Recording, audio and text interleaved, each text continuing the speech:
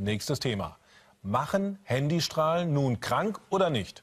Die Schlagzeilen mal so, mal so. Strahlenangst, machen Handys wirklich krank oder kein Krebs durch Handys. Was stimmt denn nun? Habe ich Kollegen gefragt, die sich seit Jahren mit dem Thema befassen. Als Antwort bekam ich unter anderem das hier.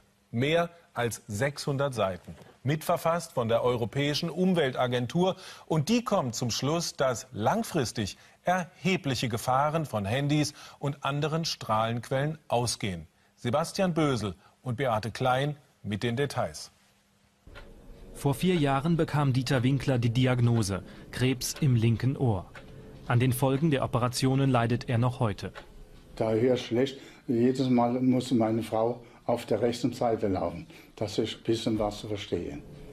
Dieter Winkler hat seit Anfang der 90er Jahre beruflich viel mit einem Handy telefoniert. Sein Verdacht? Ich nehme an, dass das Handy Schaden anrichtet.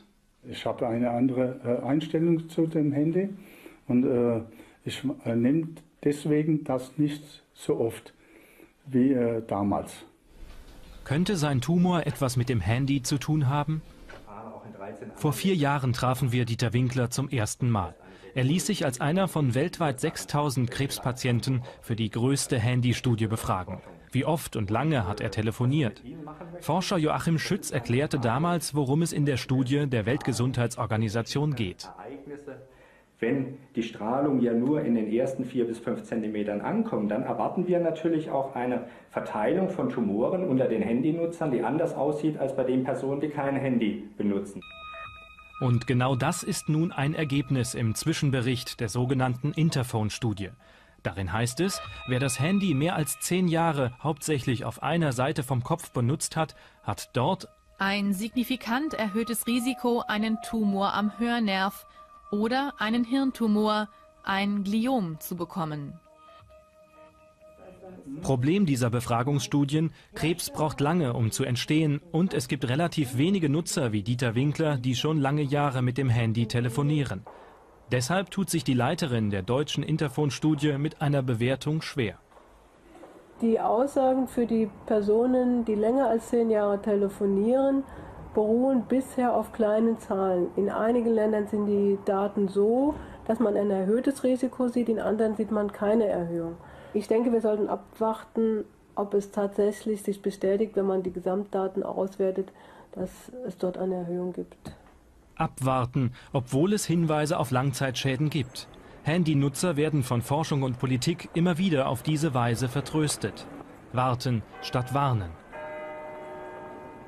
Zum ersten Mal bezieht jetzt aber eine offizielle Fachbehörde eindeutig Position. Mobilfunk ist gefährlich. Das steht in diesem Bericht.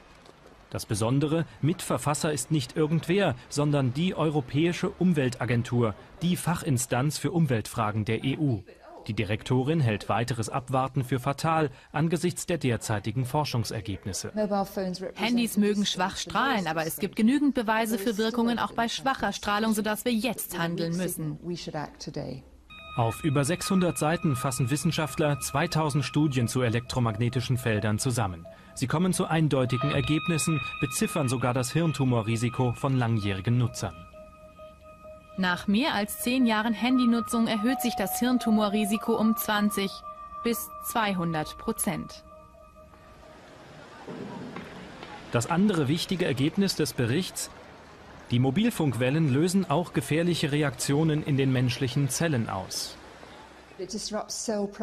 Sie stören Zellprozesse. Und wenn das über einen langen Zeitraum passiert, können diese Störungen natürlich zu Langzeiteffekten wie Krebs führen. Und das sind die Effekte, die uns am meisten beunruhigen. Zwar gibt es Grenzwerte für Mobilfunk, die uns schützen sollen, doch die Effekte in den Zellen treten auch unterhalb dieser Grenzwerte auf. Die Schlussfolgerung der Behörde? Die Grenzwerte sind unzureichend. Die EU-Umweltagentur fordert deshalb, die Grenzwerte zu senken, gerade weil mittlerweile schon viele als Kind Handys bekommen. Also ich habe meins mit elf bekommen. Ja, ich auch. Ich auch mit zwölf oder elf. Ohne Handy kann man heutzutage schwer leben. Telefonieren richtig viel, also vier bis fünf Stunden kommt drauf am Tag. Und ähm, seit wann, welchem Alter hast du ein Handy? Ich habe schon mit acht ein Handy bekommen. Ja, da passiert schon nichts. Müssen also vor allem junge Handynutzer besser geschützt werden? Was sagt das deutsche Bundesamt für Strahlenschutz zu den Warnungen der EU-Umweltagentur? Doch dazu kein Interview. Schriftlich heißt es, Es bestehe innerhalb der Grenzwerte keine gesundheitliche Gefährdung. Es gebe aber Hinweise auf biologische Wirkungen und deshalb müssen die Grenzwerte durch geeignete Vorsorgemaßnahmen ergänzt werden. Wie passt das zusammen? Angeblich keine Gesundheitsgefahr, aber ein ganzer Katalog von Vorsichtsmaßnahmen. Handygespräche sollten kurz gehalten und lieber Kopfhörer, sogenannte Headsets, benutzt werden. Konsequente Vorsorgepolitik sieht anders aus. Als Dieter Winkler anfing, mit einem Handy zu telefonieren, hat sich noch niemand für die möglichen Folgen interessiert. Umso mehr müssten jetzt die Hinweise ernst genommen werden, sagt die EU-Umweltagentur. Wir meinen, warum die Bevölkerung einer Gefahr aussetzen, wenn man jetzt etwas tun kann.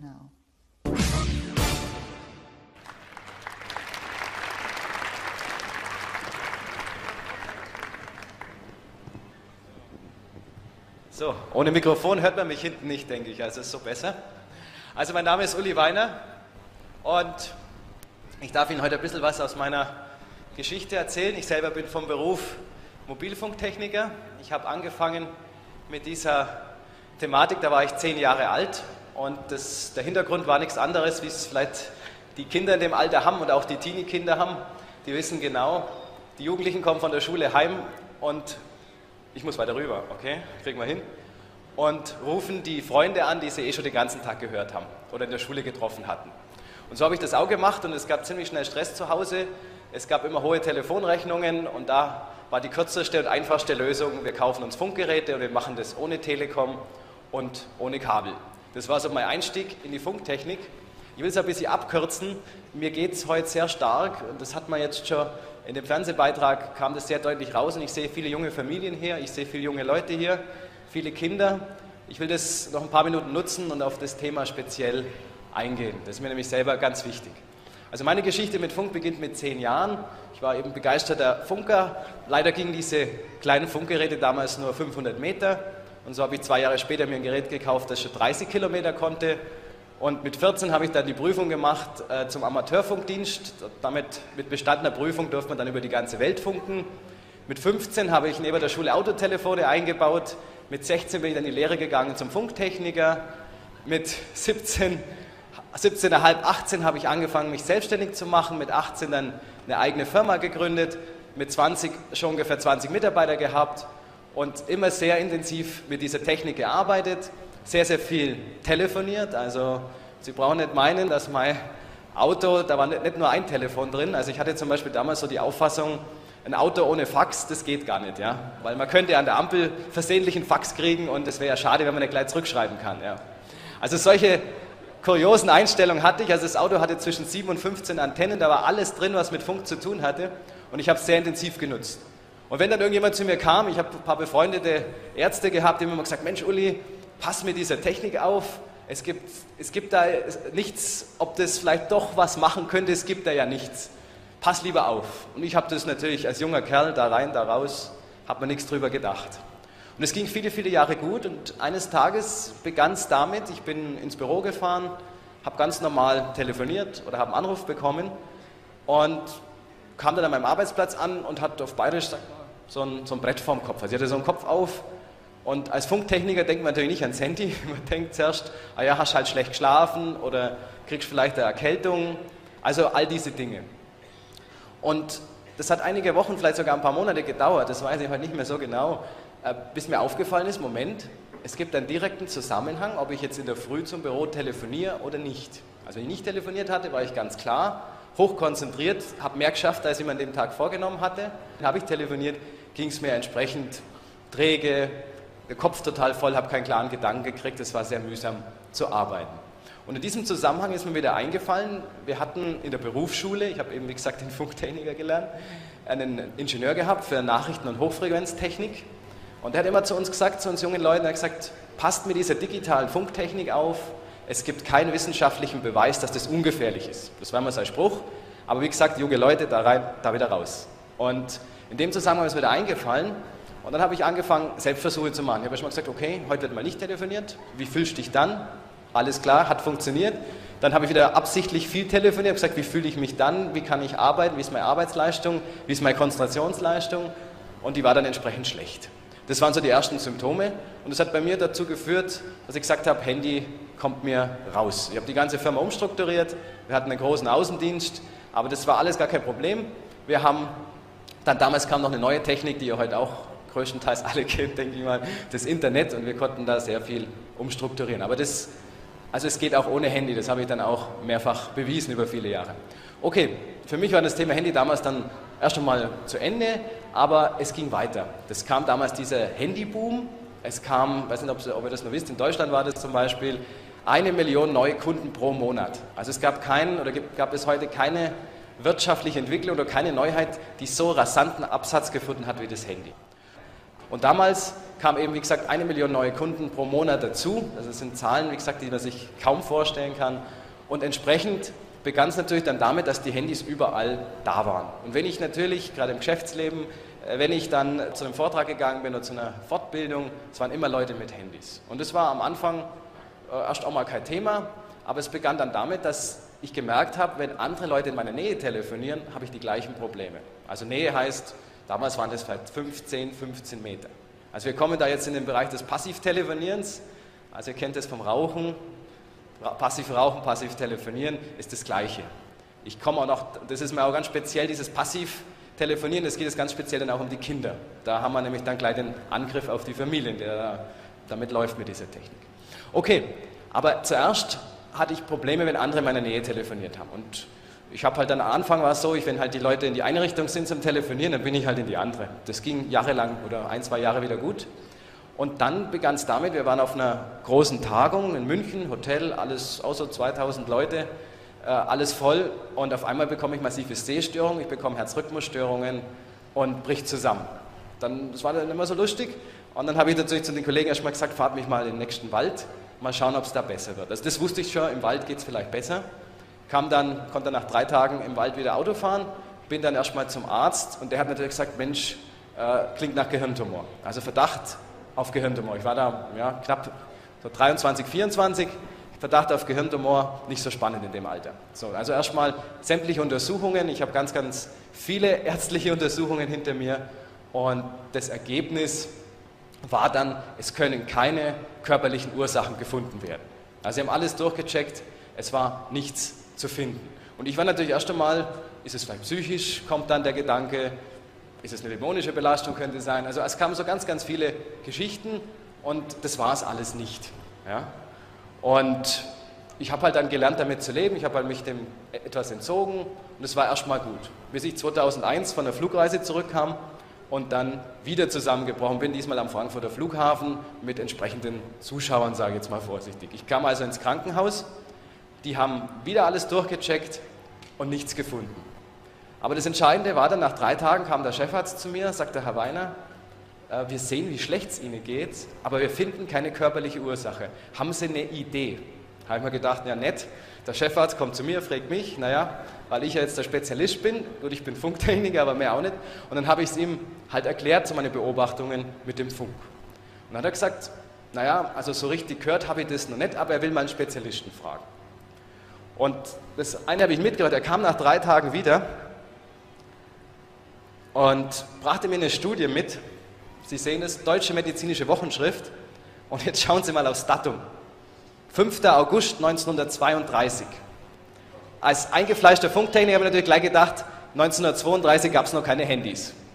Das war auch richtig, aber man sieht es jetzt hier schon, es gab ganz starke Sender im Kurzwellenbereich, also wie der vorhin erwähnte Sender in Schwarzenburg zum Beispiel. So, und die haben also da Forschungen gemacht in den 30er Jahren zum Funk. Wir haben dann schon gehört, wie weit die Deutschen dann auch waren, Ende der 40er Jahre in Bezug auf HARP. Also es wurde in den Jahren sehr, sehr viel geforscht und natürlich, wie es oft so ist in unserer Welt, leider zur Zerstörung und zum Militär. Aber das Ergebnis will ich kurz vorlesen. Der Gesamtorganismus wird schon im Strahlungsfeld von starken Kurzwellensendern durch die Freihertzsche Welle deutlich beeinflusst. Also Freihertzsche Welle ist ein altdeutscher Begriff oder altdeutsches Wort für Funk. Also für eine Funkwelle, die frei ist. Also eine gebundene Welle gibt es auch. Also hier zum Beispiel das Mikrofonkabel oder halt jetzt Telefonleitung wäre ein Beispiel oder auch der normale Hausstrom. Das ist eine gebundene Welle. Okay, das empfinden alle Personen, die längere Zeit hindurch an solchen Sendern ohne genügende Schutzmittel haben arbeiten müssen. Es treten Erscheinungen auf, wie wir sie bei Neurasthenikern zu sehen gewohnt sind, starke Mattigkeit am Tag, dafür in der Nacht unruhiger Schlaf, zunächst ein also eigenartig ziehendes Gefühl in Stirn und Kopfhaut, dann Kopfschmerzen, die sich immer mehr steigern, bis zur Unerträglichkeit.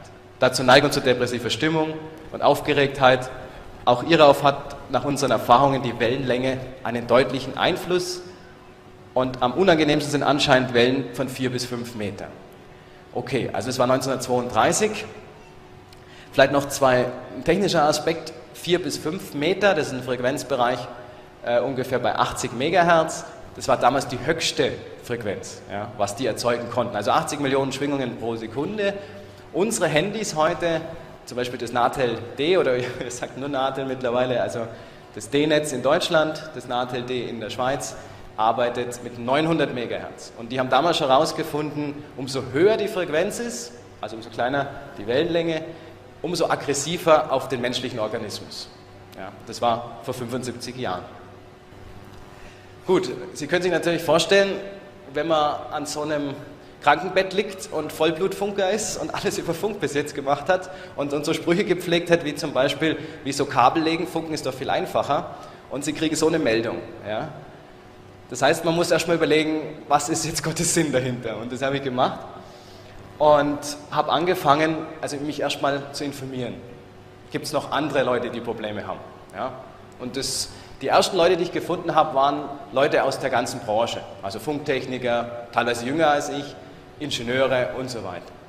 Und über die Jahre hat sich dann eins rausgestrahlt, die Leute, es kamen immer mehr Leute dazu aus einem normalen Arbeitsumfeld oder aus einem normalen Lebensumfeld. Also nicht nur Funktechniker, die mit dieser Technik zu tun hatten, sondern auch Leute aus einem normalen, ganz normalen Alltags- oder Lebensumfeld. Und sehr schnell kam natürlich dann der Zusammenhang auch zustande, dass diese Leute den Schnurlostelefon hatten oder längere Zeit eins hatten oder halt entsprechend neben einem Sender gelebt haben. Das war so das Erste. Und ich musste natürlich mein Leben umstellen. Also die Zusammenbrüche, die haben sich leider immer wieder gehäuft. Das war alles nicht bei einmal geblieben.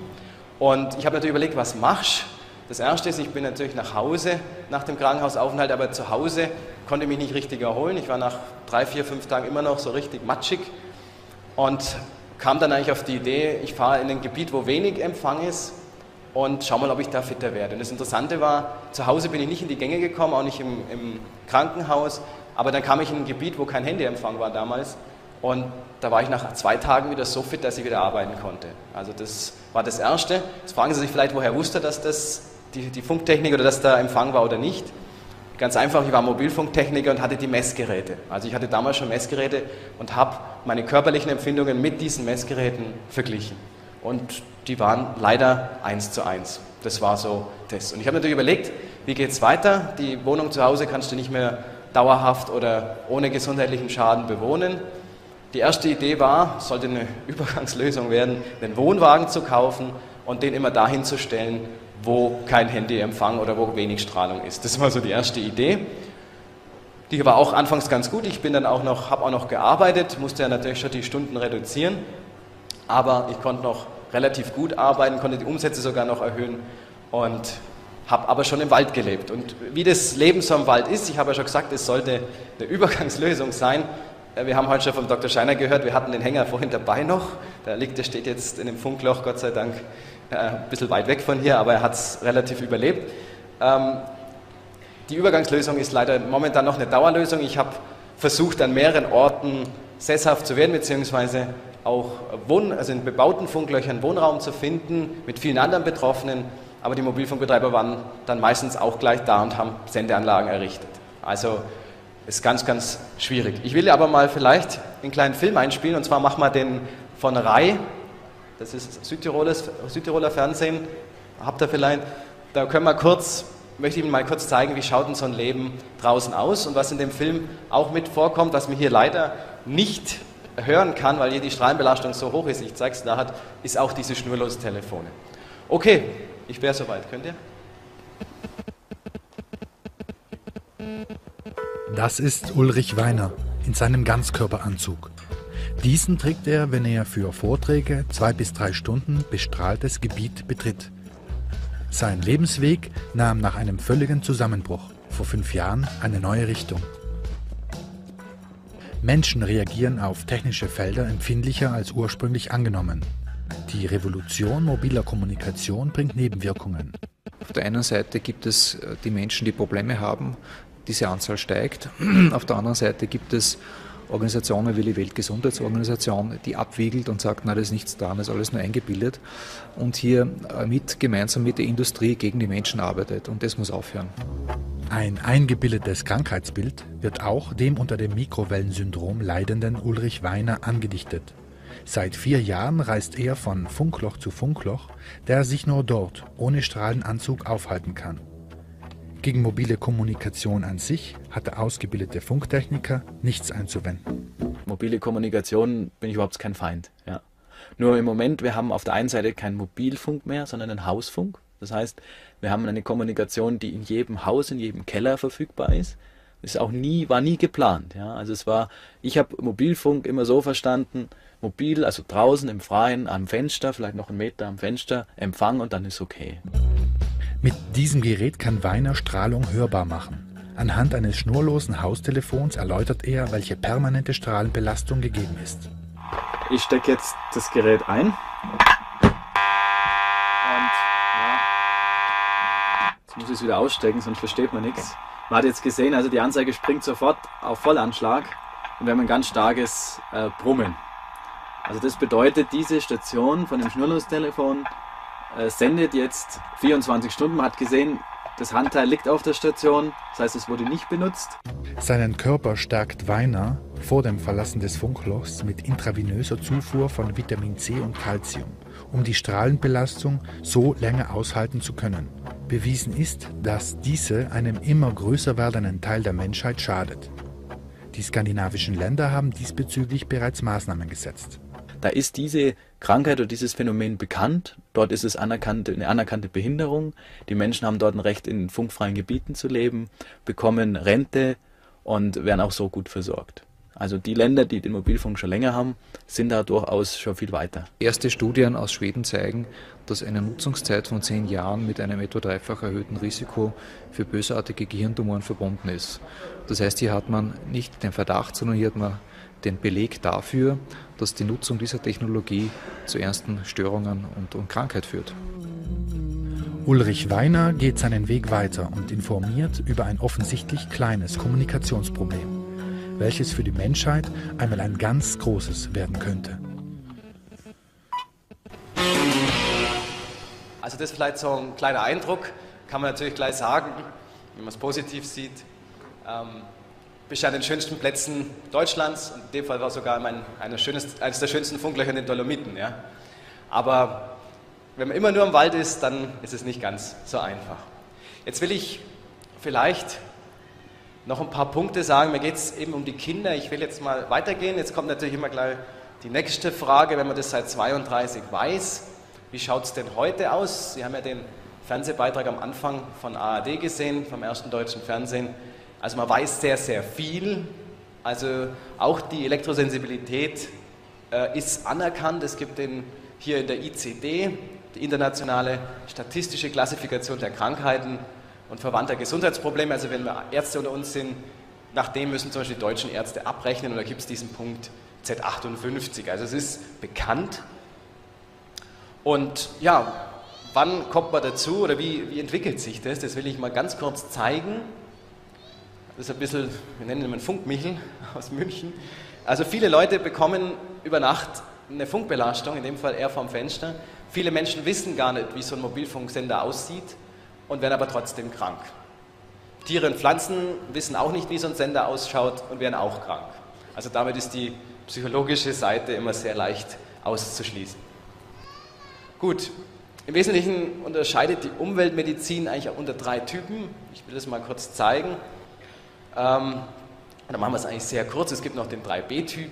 Ähm, also jemand spürt was, weiß warum. Typ 2 spürt was, weiß nicht warum. Das ist also die große Masse, die Probleme hat, aber nicht unbedingt zuordnen kann, wo kommt es her. Typ 3 sagt von sich, er spürt nichts. Und dann gibt es noch den 3b. Das ist der Mensch oder der Typ von Mensch, der sagt, er merkt nichts. Und wenn ich dann seine Frau und seine Kinder frage und sage, ja, wie ist denn der Papa, wenn er drei Stunden Handy telefoniert hat, dann sagen die mir, wenn der heimkommt, kriegt er nichts mehr mit. Ja. Also diesen Typ gibt es auch. Also das andere im nahen Umfeld, gerade Frau und Kinder, das sehr wohl merken, wenn jemand mit dem Handy telefoniert. Okay, der Krankheitsverlauf vielleicht, das ist natürlich sehr medizinisch, aber da springen wir gleich weiter.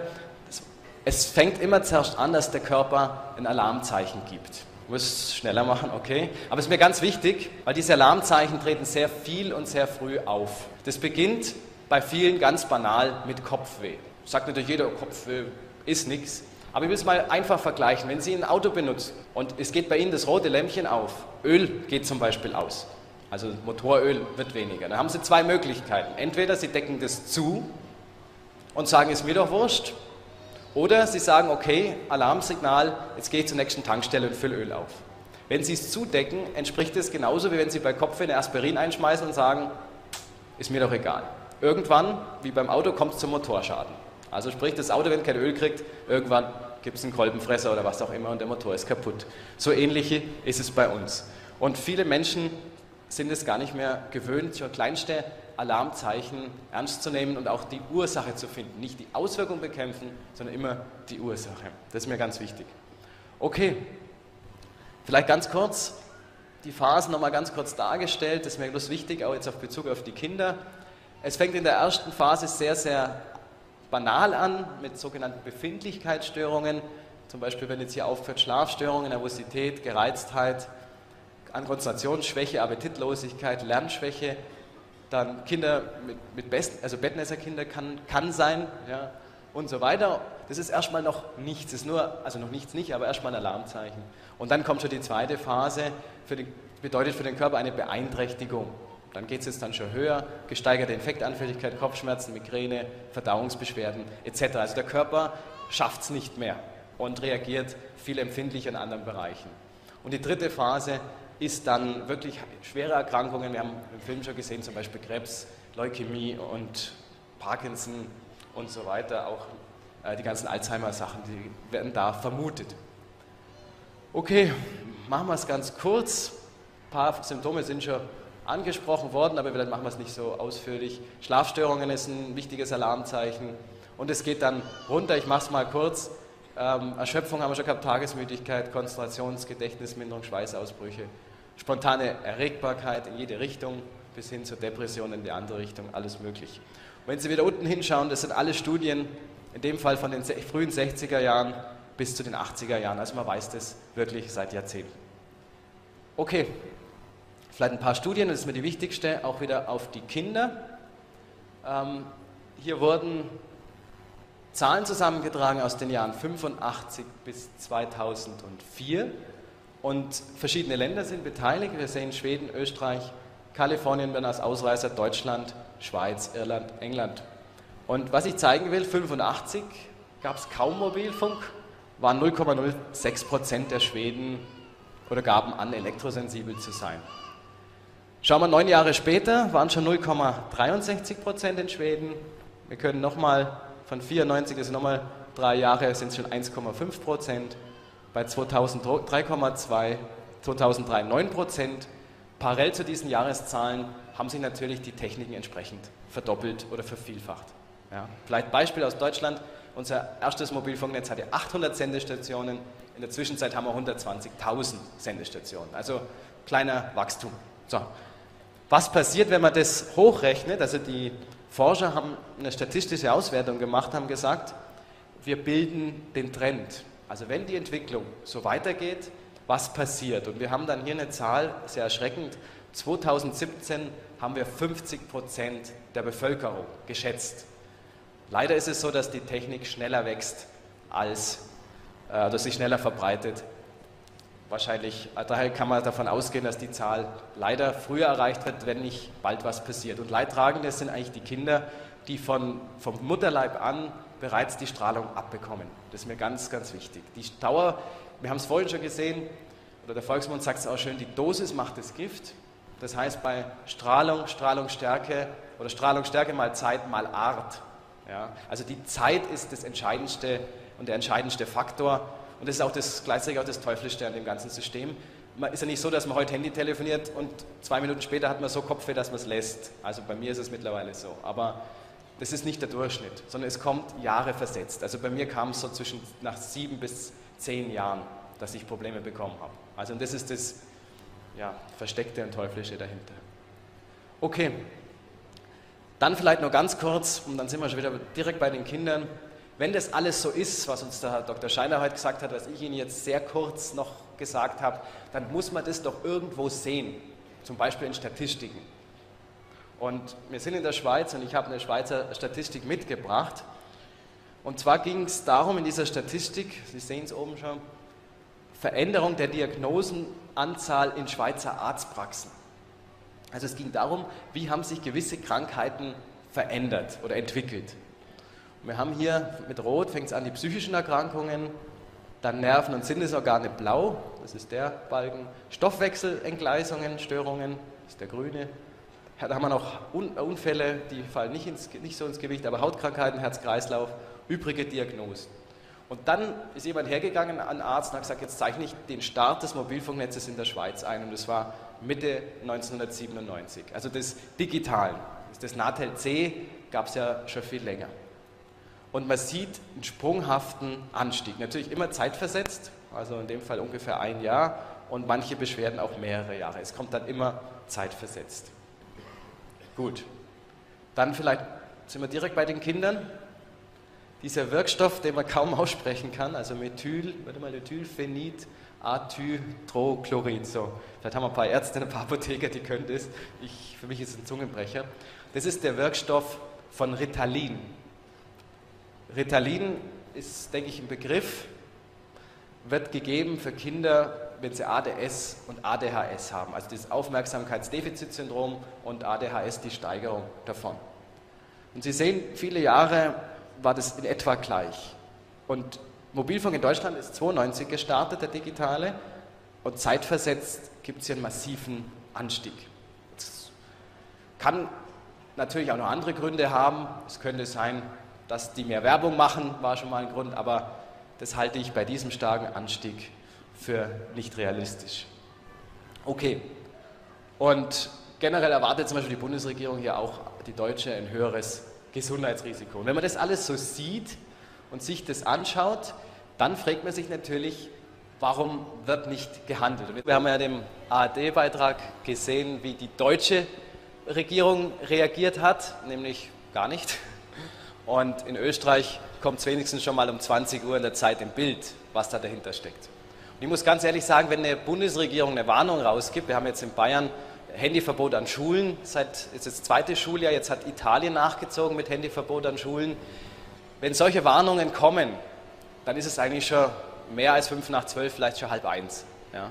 Wir haben auch WLAN-Verbot, also das digitale oder schnurlose Internet strahlt ähnlich wie das schnurlose Telefon, was wir vorhin gesehen haben im Film, strahlt 24 Stunden, auch wenn keiner es benutzt oder telefoniert bzw. im Internet surft. Und ich möchte wirklich heute mitgeben, wenn ihr heimkommt, schaut, was habt ihr zu Hause? Was habt ihr für ein Schnurlostelefon zu Hause? Es gibt verschiedene Techniken. Schaut, ob ihr es nicht ersetzen könnt, ob er nicht lieber zurückgeht auf das klassische Kabel. Es kann ja auch ein langes Kabel sein. Ja. Das ist wirklich das Einzige, was wirklich oder nachweislich 100% strahlungsfrei ist. Und wenn man mit den ganzen Sachen sich ein bisschen schwer tut, aber überlegt mal, das normale Festnetztelefon gibt es in vielen Regionen hier in Europa schon fast 100 Jahre und man hat nie Beschwerden gehabt. Das Handy gibt es seit 15 Jahren und es ist eine heftigste Diskussion überall zu dem Thema. Und ich kann wirklich jedem nur ans Herz legen, meldet das Handy ab. Es bringt eigentlich nur Leid und Schaden. Und ja, es ist wirklich so, also ich möchte es mal so sagen, ich mache ganz viele Vorträge an Schulen. Ich war letztes Jahr bei 25.000 Schülern im deutschsprachigen Raum. Ich mache das ganz so, so Gott will und ich die Kraft habe, mache ich es. Ja. Ähm, aber ich muss aufpassen, so, ein, so, eine Aktion wie heute kostet mich ein, zwei Tage Bettruhe, da komme ich nicht drum herum. Aber so gut es geht, mache ich es. Und mir ist es wirklich wichtig. Denkt an die Kinder. Die bekommen, allein die Strahlung, die jetzt da ist, die jetzt als Passivtelefonier, jemand, der diese Technik nicht nutzt, allein was jetzt da ist, und ich will es mal vielleicht, ich zeige es vielleicht auch mal kurz, aber man kriegt hier einen Schrock. Das ist der Sender drüben auf dem Haus. Und der ist im roten Bereich. Ich hätte euch ein schnurloses Telefon hätte ich jetzt gar nicht vorführen können, weil das hätte man nicht mehr gehört. So laut ist das andere. Ja. Denkt an die Kinder. Es ist ein Angriff auf die Familie, es ist ein Angriff aufs Leben, diese Technik. Und es gibt nur einen Weg, dem zu begegnen. Und es ist absolut konsequenter Verzicht. Es gibt keinen anderen Weg. Die Mobilfunkindustrie geht ganz klar nach Zahlen. Es geht ums Geld, um nichts anderes. Es geht um Zahlen. Und wenn allein ein Handy angemeldet ist, ich habe viele Leute, die sagen, ja, für Notfall und mal im Auto, ich weiß nicht, ob Sie das wissen, das ist auch eine Lüge. Es sterben mehr Menschen durch Handynutzung im Straßenverkehr, als über Notrufe gerettet werden. Ja, das heißt, wenn man alle Handys abmeldet, haben wir noch weniger Verkehrstote. Ist, ja, es ist eine Studie des österreichischen Automobilclubs. Also wer das nicht glaubt, kann auf mich zukommen. Ich habe alles belegt, was ich hier sage. Ja. Und das Zweite ist, jetzt sind wir in den Bergen. Wir haben die Lawinenrettung, wir haben die Bergwacht in den bayerischen Bergen die kommen immer wieder und sagen, seit wir die Handys haben, haben wir nur Arbeit. Die Leute gehen alleine in die Berge, sie gehen spät in die Berge, sie fahren im Winter nicht zugelassene Pisten, so nach dem Motto, ich habe ja mein Handy dabei. Ja? Und es ist eine falsche, trügerische Sicherheit. Es ist keine Sicherheit. Ja? Und wie gesagt, es gibt nur einen konsequenten Verzicht, um dem zu begegnen. Ich weiß, dass es gerade für die jungen Leute vielleicht am Anfang nicht ganz so leicht sein wird. Ich habe die Phase schon hinter mir, also wer Tipps braucht, kann zu mir kommen. Also es gibt da Wege, auch im Geschäftsleben, auch als Jugendlicher, dass man wirklich seinen Handykonsum stark reduziert und dann mittelfristig ab, also ganz lässt am besten. Wir haben in Deutschland jetzt acht Mobilfunknetze, in der Schweiz ist es genauso. Die können alle irgendwo leben, zwar nicht mehr gut, die schreiben überwiegend rote Zahlen, aber noch haben sie genug. Und wenn der Verbraucher nicht mehr telefoniert, dann gibt es eine Chance. Ja. Also das will ich jetzt vielleicht damit abschließen auch. Ich kann noch sicher noch stundenlang erzählen, aber der Iber steht schon auf, er möchte auch was sagen. Ich sage vielleicht noch abschließend dazu, ähm, die Ursache von all dem, und das wissen viele hier viel besser, als es ich weiß, ein Handy dient auch zur totalen Kontrolle. Ja? Das heißt, ihr müsst euch bewusst sein, wenn es Verfolgung gibt, und die ist schon im Vorbereiten, ein einziger, der ein Handy hat, in zum Beispiel einer Geheimversammlung, ist, ist ortbar und verrät alle anderen mit. Das muss man wissen. Ja. Ein Handy ist die totale Überwachung schlechthin. Und in Deutschland haben wir jetzt noch die Vorratsdatenspeicherung, in der Schweiz ist es mittlerweile auch so. Jedes Handygespräch, also mit, also mit wem hat man angerufen, wie lange hat man gesprochen, dann jede SMS, also beim Handygespräch nur, wen hat man angerufen, nicht den Inhalt. Die SMS wird mit Inhalt ein halbes Jahr gespeichert und das ganze Bewegungsprotokoll von, von sechs Monaten. Das heißt, wenn heute ein Handy eingeschaltet wird und man bewegt sich, kann man sechs Monate später noch sagen, der war genau da, ist so gefahren, war da, ist in den Bus eingestiegen und so weiter. Das ist Stand der Technik, das ist real. Ja, das ist nicht Johannes Offenbarung, sondern es ist real. Ja, da steht es auch drin, aber es ist real. Ja? Und lebt damit. Also geht damit bewusst um. Ja. Okay, damit beende ich. Okay.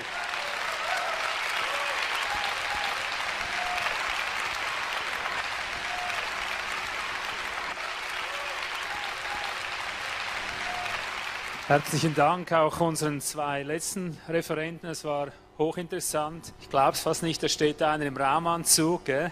und erzählt von Dingen, von denen wir noch nicht mal etwas gehört haben. Ähm, ich arbeite, wie gesagt, an der Uniklinik in Freiburg, hier im Unizentrum Naturerkunde und behandle relativ viele Patienten. Und äh, dieses Thema wird immer ein wichtigeres Thema bei uns. Also etwa 20 Prozent der ganzen Patienten von uns haben in gewisser Form eine Elektrosensibilität. Die meisten davon wissen davon nichts. Es gibt drei Dinge auf der Welt, die von Versicherungsunternehmen nicht versichert werden. Welche sind es? Ja, Versicherungen verdienen ihr Geld damit, dass sie Versicherungen verkaufen und sie können alles versichern in der Regel. Was können sie nicht versichern? Man, eine Sache steht schon hier, Mobilfunk können sie nicht versichern. Das machen die nicht, das Risiko schätzen die größer ein als den Verdienst. Was noch?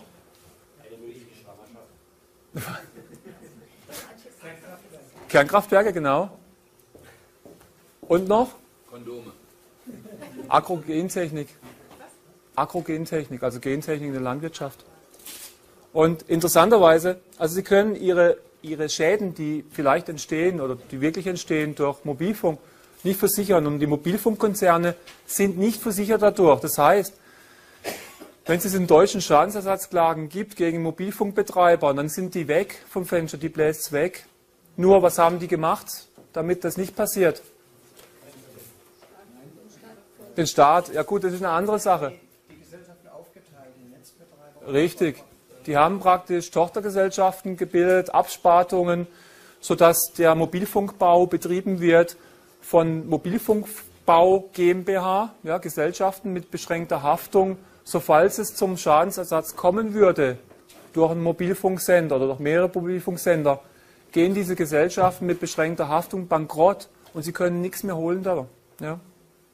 Was auch noch rechtlich interessant ist, die Leute, die auf ihr Privatgrundstück Mobilfunksender draufbauen, die müssen dann haften. Alles, alle Schäden, die von ihrem Grundstück ausgehen, muss, müssen die haften. Das wissen die wenigsten. Ja. Bei uns im Dorf hat einer unterschrieben jetzt mit E Plus einen Vertrag für 20 Jahre, bekommt er 60.000 Euro. Für das, dass er einen Mobilfunksender oben drauf macht. Weiß aber nicht, dass wenn jemand klagt wegen Schäden, dass er dran ist. Laut. Bei staatlichen Grundstücken? Dann, dann ist die Gemeinde, äh, die wohl im Hoheitsgebiet liegt. Was Sie aber machen können, Sie können Ihr Handy versichern. Da gibt es einen Handyschutzbrief.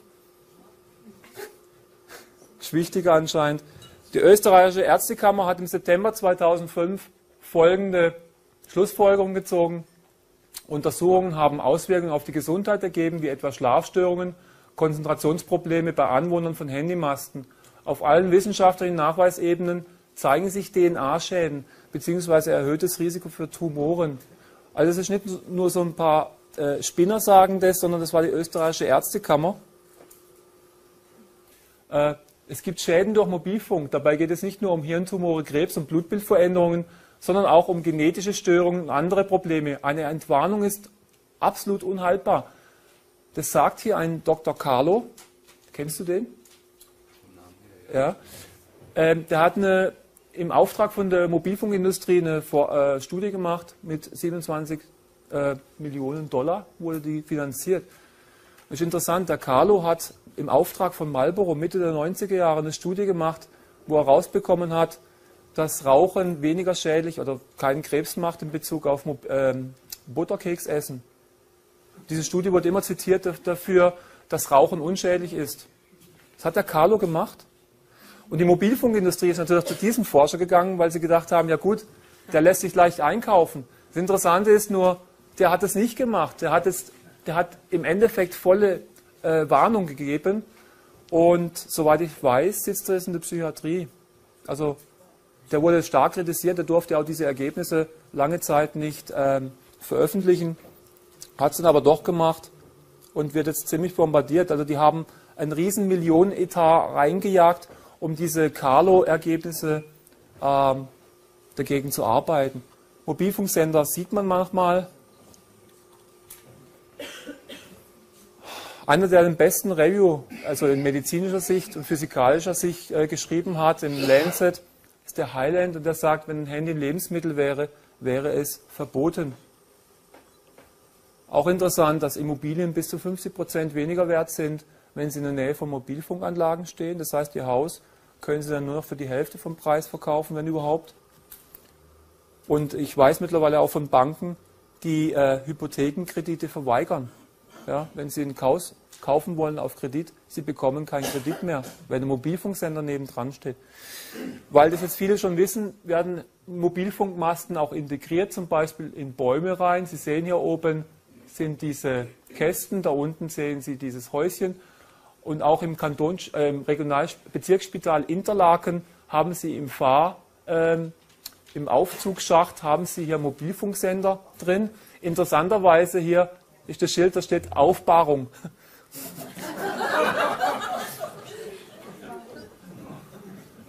Äh, die ganze Bevölkerung hat im Endeffekt schon diese, diese Handys. 2004 gab es mehr Handys wie Festnetztelefone in Deutschland. Und das Interessante ist, 60 Prozent werden mit äh, Nicht-Erwachsenen, also mit Jugendlichen erzielt und Kindern. Das ist interessant. Über 60 Prozent mittlerweile sogar, sodass die Mobilfunkindustrie natürlich auch dementsprechend wirbt, dass man am besten noch Babys mit Handys hat.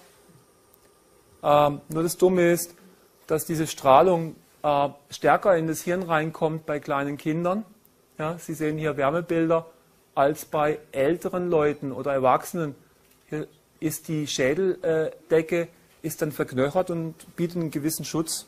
Das sind Erwärmungsbilder. Das sind allerdings nur Erwärmungsbilder, ja. Aber man kann das praktisch auch für die Mikrowellenstrahlung ähm, analog sehen, sodass auch ein Forscher, hier ein Zoologe von, von der Universität in Frankfurt, der auch eine, im Auftrag der Telekomindustrie Forschung gemacht hat an Zebrafinken, der durfte auch zwei Jahre lang seine Forschung nicht veröffentlichen. Ich würde mein Kind nicht in einen Kindergarten schicken, wenn im Umkreis von 250 Meter eine Mobilfunkanlage wäre. Interessant auch dieses Bild, was ich vor kurzem gekriegt habe. Ähm, Sie sehen hier, die, ähm, was über die Apothekentische geht an Ritalin. Ritalin ist ein äh, Amphetamin, was genommen wird bei Kindern, die nicht mehr normal sind, wo unruhig sind, wo Aufmerksamkeitsdefizitsyndrome haben. Und Sie sehen hier von ab 1954, da gibt es diesen Stoff schon, wie das in den letzten Jahren parallel zur Einführung von schnurlosen Kommunikationssystemen, also sprich Schnurlostelefonen und Mobilfunk, wie es angestiegen ist. Und gleichzeitig ist die Geburtenrate runtergegangen. Ja, jedes sechste Paar in Deutschland ist ungewollt kinderlos. Und trotzdem geht die Ritalin-Einnahme äh, hoch, sodass ja die Psychiater sagen, äh, ADS und ADHS sind Ritalin-Mangelkrankheiten. Ja, Im Endeffekt schon. Meine Cousine hat mich vor kurzem angerufen, die war in einer äh, Spezialklinik für Kinder und Mütter mit Aufmerksamkeit defizitgestörten Kindern. Und äh, ja, ihr hat man nahegelegt da, durch die Psychologen haben sie bearbeitet, sie soll Ritalin bitte ihrem Kind geben. Wenn sie das nicht macht, wird es so, wie wenn der Chirurg ihnen verweigert, eine Knochenoperation zu machen, wenn sie einen gebrochenen Knochen haben. Ja? Sie hat dann unterschrieben, dass sie es macht hat mich dann abends angerufen. Ich habe sie wieder ausgeredet und habe gesagt, komm, wir machen jetzt noch einen Versuch mit dem Kind. Komm ein, zweimal zu mir. Und sie kam im Juli dann. Und wir haben erstmal aufgebaut, haben Mineralanalyse gemacht, Mineralstoffe gegeben, Spurenelemente, Ernährung umgestellt und ein paar Zyklen mit DMSA. Und das Kind ist wie ausgewechselt. Also sie sagt, vorher war es 0%, 100% ist ganz gesund, jetzt schon 70%. Von Ritalin ist keine äh, Sprache mehr. Also das habe ich schon gesagt, ja, Wirtschaftsunternehmen kann keine Moral haben. Was für eine Feldstärke da unter Hochspannungsleitung überhaupt über die Luft übertragen werden kann, haben Sie ja vorher schon gesehen. Hier hat ein Physiker aus, der, aus Bristol äh, hat einen Versuch gemacht, hat einfach Leuchtstofflampen unter eine Hochspannungsleitung eingesteckt und die fangen an zu klimmen. Und zwar alle. Also sind ein paar. Das können Sie machen. Also wenn es so, so dunkel wird und Sie stecken einfach eine 58 Watt Leuchtstoffröhre, hundsgewöhnlich unter Hochspannungsleiter rein. Im British Medical Journal kam letztes Jahr eine Studie raus, dass Kinder, die in, in der Nähe von Hochspannungsleitungen, und zwar 600 Meter auch, äh, Entfernung leben, erhöhte Rate von Leukämie haben. Interessant auch, dass äh, während des Kalten Krieges in Russland sehr viel Mikrowellenforschung gemacht wurde und auch die russische Botschaft in der UdSSR, äh, die, die, die, äh, die amerikanische Botschaft in der UdSSR wurde bestrahlt mit Mikrowellen, um die Leute kaputt zu machen. Das haben sie geschafft und zwar erfolgreich. Die hatten überzufällig häufig Leukämie. Einige Selbstmorde sind gelaufen, die sind ausgewechselt worden. Die Amerikaner, wie sie halt schlau sind, haben gesagt, das ist psychisch, psychischer Stress. Ja, die, haben, die sind mitten in Russland, die wollen alle die töten hinterrücks. Und durch diesen Stress haben die einfach mehr Selbstmordgedanken, Depressionen, Leukämie. Ne, die wurden von drei Stellen bestrahlt. Und zwar mit einer Strahlenstärke, also die Strahlenart ist genau gleich wie die, die wir jetzt hier verwenden. Und äh, die Strahlenstärke lag zwischen einer Basisstation und einem Handy. Manche Kirchen kriegen auch schon Geld indem Sie die Mobilfunksender in die Kreuze hier einarbeiten.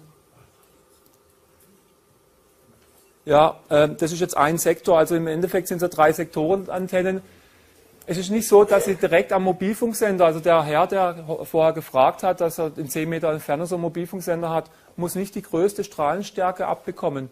In der Regel bekommen Sie, wenn die Hauptkeule aufkommt auf dem Boden, den höchsten Wert, also das ist so bei 100 bis 150 Meter. Und dann kommt es so, dass jede Antenne drei Sektoren hat. Und das ist auch ein Grund dafür, dass es sein kann, dass hier Leute leben, die sagen, die können immer schlafen, die Kinder fangen an zu spinnen, die bleiben sitzen, während hier Leute sind, die sagen, ich merke nichts, ihr seid verrückt.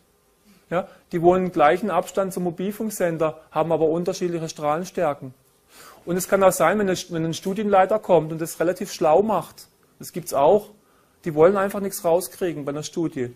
Dann nehmen sie einfach die Leute und sagen, ja, wir haben jetzt Leute genommen, die waren 50 Meter vom Mobilfunksender entfernt und haben die verglichen mit Leuten, die waren 200 Meter entfernt und haben festgestellt, dass die bei 200 Meter Entfernung mehr Krebs bekommen als die mit 50 Meter Entfernung. Können Sie alles tricksen. Äh, soweit ich weiß, war das eine Studie, äh, die relativ interessant war, weil bisher die Leute, die Mobilfunksender aufs Dach gebaut haben, haben gedacht, okay, ich bekomme sehr viel Geld dafür, wenn ich so einen Mobilfunksender aufs Dach mache. Und zum Zweiten, äh, ich werde nicht bestrahlt vom Nachbar, sondern ich strahle zum Nachbar rüber. Das stimmt nicht. Sie bekommen auch unterhalb des Mobilfunksenders im Haus Spitzen, die sehr hoch sind. Das waren Messungen, die, glaube ich, vom Bundesamt für Strahlenschutz sogar gemacht wurden und hier bei CHIP äh, veröffentlicht waren. Das sind die verschiedenen Frequenzen, die sie haben, ist jetzt nicht so wichtig. Die haben aber alle noch, also D-Netz, E-Netz, UMTS, DECT-Telefone haben sie vorher gesehen, wie das pulst. WLAN geht noch höher in den Gigahertz-Bereich und die haben alle noch eine Taktfrequenz 217 oder 100. Die 100 Hertz scheinen etwas gefährlicher zu sein, sein wie die 217 Hertz, aber es reicht auch schon aus. Und wie vorher schon auch gesagt, WLAN wird getaktet mit 10 Hertz, also 10 Mal pro Sekunde kommt ein Impuls raus. Die Handystrahlung liegt praktisch in der Nähe von Mikro, vom Mikrowellenherd. Sie sehen hier einfach mal ein Spektrum von elektromagnetischen Strahlungen. Äh, hier sind die niederfrequenten Strahlungen, hier sind die hochfrequenten Strahlungen, da ist auch äh, Radio äh, dabei. Und Sie kommen dann in den Infrarotbereich und hier haben Sie das sichtbare Licht bis zur radioaktiven Strahlung. Und Analog und gepulst ist klar, was da der Unterschied ist. Haben Sie das schon gemacht wahrscheinlich, oder? Analoge Strahlung. Es wird ja immer argumentiert, ähm, ja, wir haben ja früher analoge Strahlung gehabt mit, mit, mit dem C-Netz und da waren die Leistungen viel höher. Und jetzt haben wir gepulst und die Leistungen sind niedriger.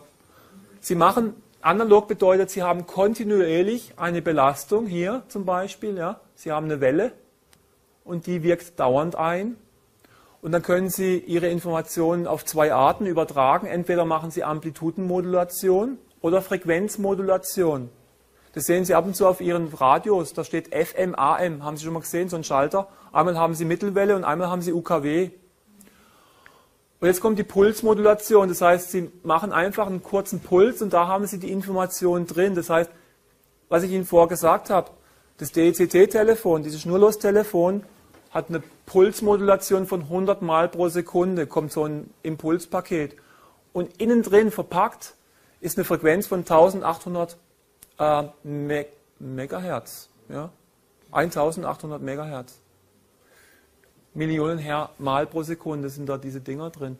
Und ich vergleiche das immer gern. Ach so, wenn Sie den Mittelwert machen, ja, den Mittelwert der, der Leistung oder der, der, ja genau der Leistung, dann machen Sie die, legen Sie die Kurve praktisch so an, Sie rechnen das Integral und dann kommen Sie bei der analogen Strahlung ungefähr hierhin, mal 0,7 und hier bei der gepulsten Strahlung sind Sie tiefer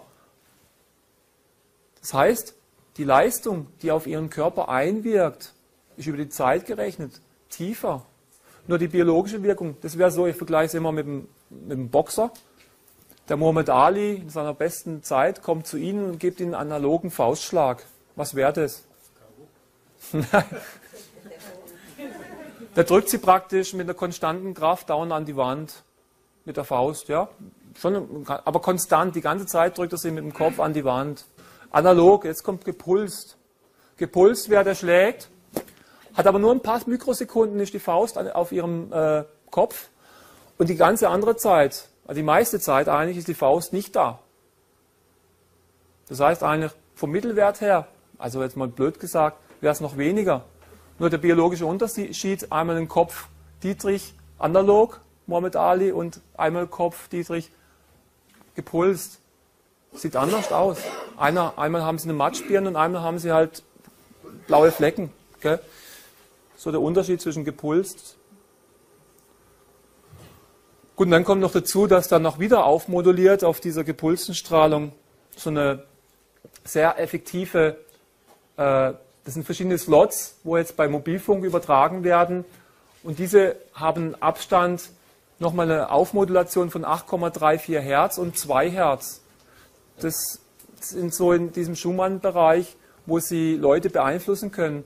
Man weiß mittlerweile, dass Sie mit diesen extremen ELFs können Sie Leute beeinflussen, ob sie jetzt Selbstmord machen oder ob sie froh sind oder ob sie weinerlich sind. Also Sie können praktisch psychische Veränderungen auslösen mit diesen Strahlungsarten. Wie werden die Grenzwerte gemacht? Weiß das jemand? Heißt immer, die Grenzwerte werden eingehalten, Punkt. Und da kann man nichts mehr sagen, das steht mal da mit dem offenen Mund. Grenzwerte sind eingehalten. Schon gemacht mit dem, ah, okay. Da brauchen wir nichts mehr sagen mit der Erwärmung? Gut. Nein, wir haben nicht viel Zeit, deswegen. Ja, die machen nur die Erwärmung. Das wäre das gleiche, wie wenn Sie äh, radioaktive Strahlung nehmen und den Körper nur einen Grad erwärmen über 30 Minuten. Habt ihr alles schon gemacht? Okay, okay. Und das habt ihr auch schon gemacht, die Grenzwerte, die in Deutschland gelten und die biologischen wirken? Also, wenn man mal das D-Netz sieht, da gibt es einen Grenzwert in Deutschland, der 4,5 Millionen Mikrowatt pro Quadratmeter sind. Das sind Leistungsflussdichten. Da sehen wir nachher nochmal was Interessantes. Und der Schweizer Grenzwert ist schon mal 100 Mal niedriger. Ja? Dann, äh, da wo der Herr Schröder immer Urlaub gemacht hat, haben sie 660. Also in Deutschland gelten 4,5 Millionen. Salzburger Vorsorgewert für innen ist 1 Mikrowatt. Sie haben hier einen Grenzwert von 4,5 Millionen. Und Empfehlungen für den Schlafbereich sind kleiner 0,1 Mikrowatt pro Quadratmeter. Und biologische Wirkungen sind nachgewiesen schon bei 0,2 Mikrowatt. Ja. Hier sehen Sie bei 1600 Mikrowatt schon Motorik- und Gedächtnisstörungen bei Kindern, bei 1000 Mikrowatt Öffnung der Blut-Hirn-Schranke, 900 Mikrowatt Störung des Immunsystems, bei 800 Mikrowatt Calciumionen äh, können nicht mehr richtig fließen, auch die Veränderung der Zellmembran. Und Sie müssen es nochmal vor Augen halten, in Deutschland gelten für das D-Netz 4,5 Millionen Mikrowatt als, als Grenzwert. Ich sage es einfach nochmal so. Schauen Sie mal den Unterschied an. Jetzt wird es interessant. Sie haben die volle Empfangsanzeige am Handy bei 0,01 Mikrowatt pro Quadratmeter. Zeigt das Handy an, volle Power. Ja? Und Sie können noch bei 0,001 Mikrowatt mit dem Handy telefonieren. Jetzt fragen Sie sich, warum sind die Grenzwerte so hoch? Weiß es jemand? Der Mobilfunk ist kein Mobilfunk mehr, sondern Hausfunk die hauen im Außenbereich so hohe Leistungen rein, damit sie auch durch baubiologische Häuser durchkommen, damit sie hier, hier können sie auch noch mit dem Handy telefonieren, obwohl sie tolle Abschirmung haben und hier metallbedampfte Fenster. Das geht nur, wenn sie draußen hohe Leistung haben. Natürliches Vorkommen gegenüber dem Grenzwert ist, wenn man es mal veranschaulicht, Unterschied von einer Billion. Das heißt, ein Zentimeter gegenüber 250-facher Erdumfang. Das muss man sich mal vor Augen führen, das ist schon verrückt. Gut, dass diese Grenzwertgebung eigentlich äh, negativ bewertet wurde von verschiedenen Fachleuten, auch hier im Auftrag von der neuseeländischen Regierung. Der Professor Cherry hat ist ganz klar gesagt, es sollte für die Allgemeinbevölkerung äh, unter 1000 Mikrowatt eingehalten werden. Schauen Sie nochmal den Grenzwert. 4,5 Millionen, bei UMTS sind es 10 Millionen Mikrowatt.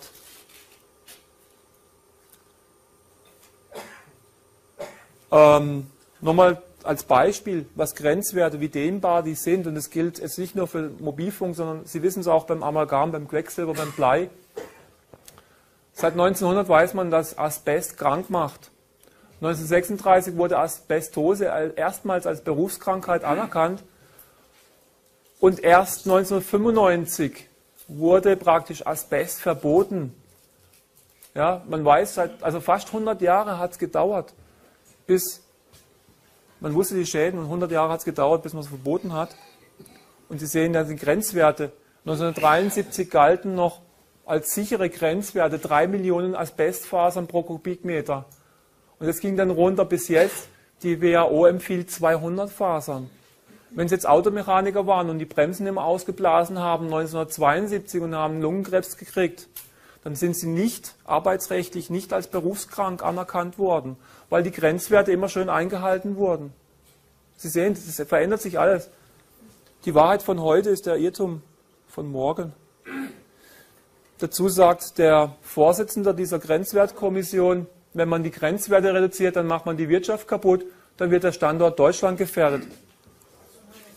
Wobei Deutschland natürlich auch noch weltweit mit die höchsten Grenzwerte überhaupt hat. Das ist jetzt interessant, warum das so ist. Schneidsee, dieser Fernsehsender stand schon lange da. Es gibt einen Bauer hier, der hat äh, viele Rinder und ab 95 war es, glaube ich, gell, kam ein D-Netz drauf. Und ab da hat er festgestellt, dass er erstmal viele Totgeburten hat und Missbildung. Sie sehen hier, dass hier die Knochen abgeknickt sind oder die Hinterbeine auf dem Rücken drauf von dem Kalb. Totgeburten mit ohne Augen, also ohne Augen. oder hier Euterentzündung, die viele Tiere sind eingegangen. Es wurde auch untersucht. Offiziell heißt, der hat falsche Futter verwendet. Aber wenn Sie die Professoren, die das untersucht haben, da war auch Professor Käs, glaube ich, dabei, von der Bundeswehrhochschule, wenn mir das täuscht, die haben ganz klar festgestellt, dass es nur von der Strahlung sein kann. Interessant auch von Heidelberg. Wir haben Hühnereier in einem Brutschrank und Mikro, äh, mit Mikrowellen der Stärke unterhalb unserer deutschen Grenzwerke bestrahlt und damit ausnahmslos jedes Embryo getötet. Kein einziges Küken ist geschlüpft, keines hat die Strahlung überlebt. Aus der Kontrollgruppe schlüpften ausnahmslos gesunde Tiere. Professor Dr. Dr. Varga, bekannt in der Elektrobiologie. Dann dieser äh, Neurochirurg aus Schweden, Professor Selford, hat Ratten untersucht, über 1000 Ratten untersucht und hat die äh, fünf, also zwei Stunden mit dem Handy telefonieren lassen praktisch, hat die 50 Tage danach geschlachtet und hat hier eine Spezialfärbung benutzt. Er hat Albumin drauf, also eine Antikörper gegen Albumin. Das heißt, Sie sehen hier ein unbestrahltes Gehirn und hier sehen Sie ein bestrahltes Gehirn. Und bei diesem bestrahlten Gehirn sehen Sie diese schwarzen Punkte. Das ist Albumin. Das darf normalerweise nicht rein ins Gehirn, weil das Albuminmolekül ist zu groß, um die Blut-Hirn-Schranke zu durchdringen. Die Blut-Hirn-Schranke war auch noch 50 Tage nach zweistündigem Handytelefonat offen dafür, dass Albumin hier reingekommen ist. Sie wissen, dass Alzheimer auch dadurch charakterisiert ist, dass eben Eiweiß im Gehirn steckt. Ja? Albumin, Albumin ist ein Prion und Alzheimer ist eine Prionerkrankung. Ja gut, zum Alzheimer machen wir relativ viel Forschung. Wir wissen, dass es als Vorbedingung für diese pathologischen Eiweißablagerungen Metalle eine ganz große Rolle spielen. Bei diesem Versuch hier, interessanterweise hier im Hippocampus-Bereich, also der Bereich, wo für das Lernen zuständig ist und wo es bei den meisten Leuten äh, schon abwärts geht, der hat die, die Zellen, das sind kleine kaputte Zellen, durch diese zweistündige Handybestrahlung sind einzelne Nervenzellen schon kaputt gegangen. Jetzt denken Sie, das kann ja wohl nicht sein. Ich habe jetzt fünf Jahre mit dem Handy telefoniert und ich funktioniere noch vom Gehirn her.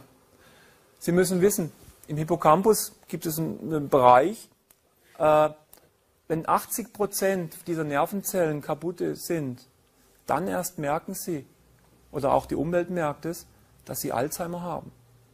Ja? 80 Prozent geht erst kaputt, bevor sie das überhaupt merken, dass sie was haben. Bei Parkinson ist es genauso.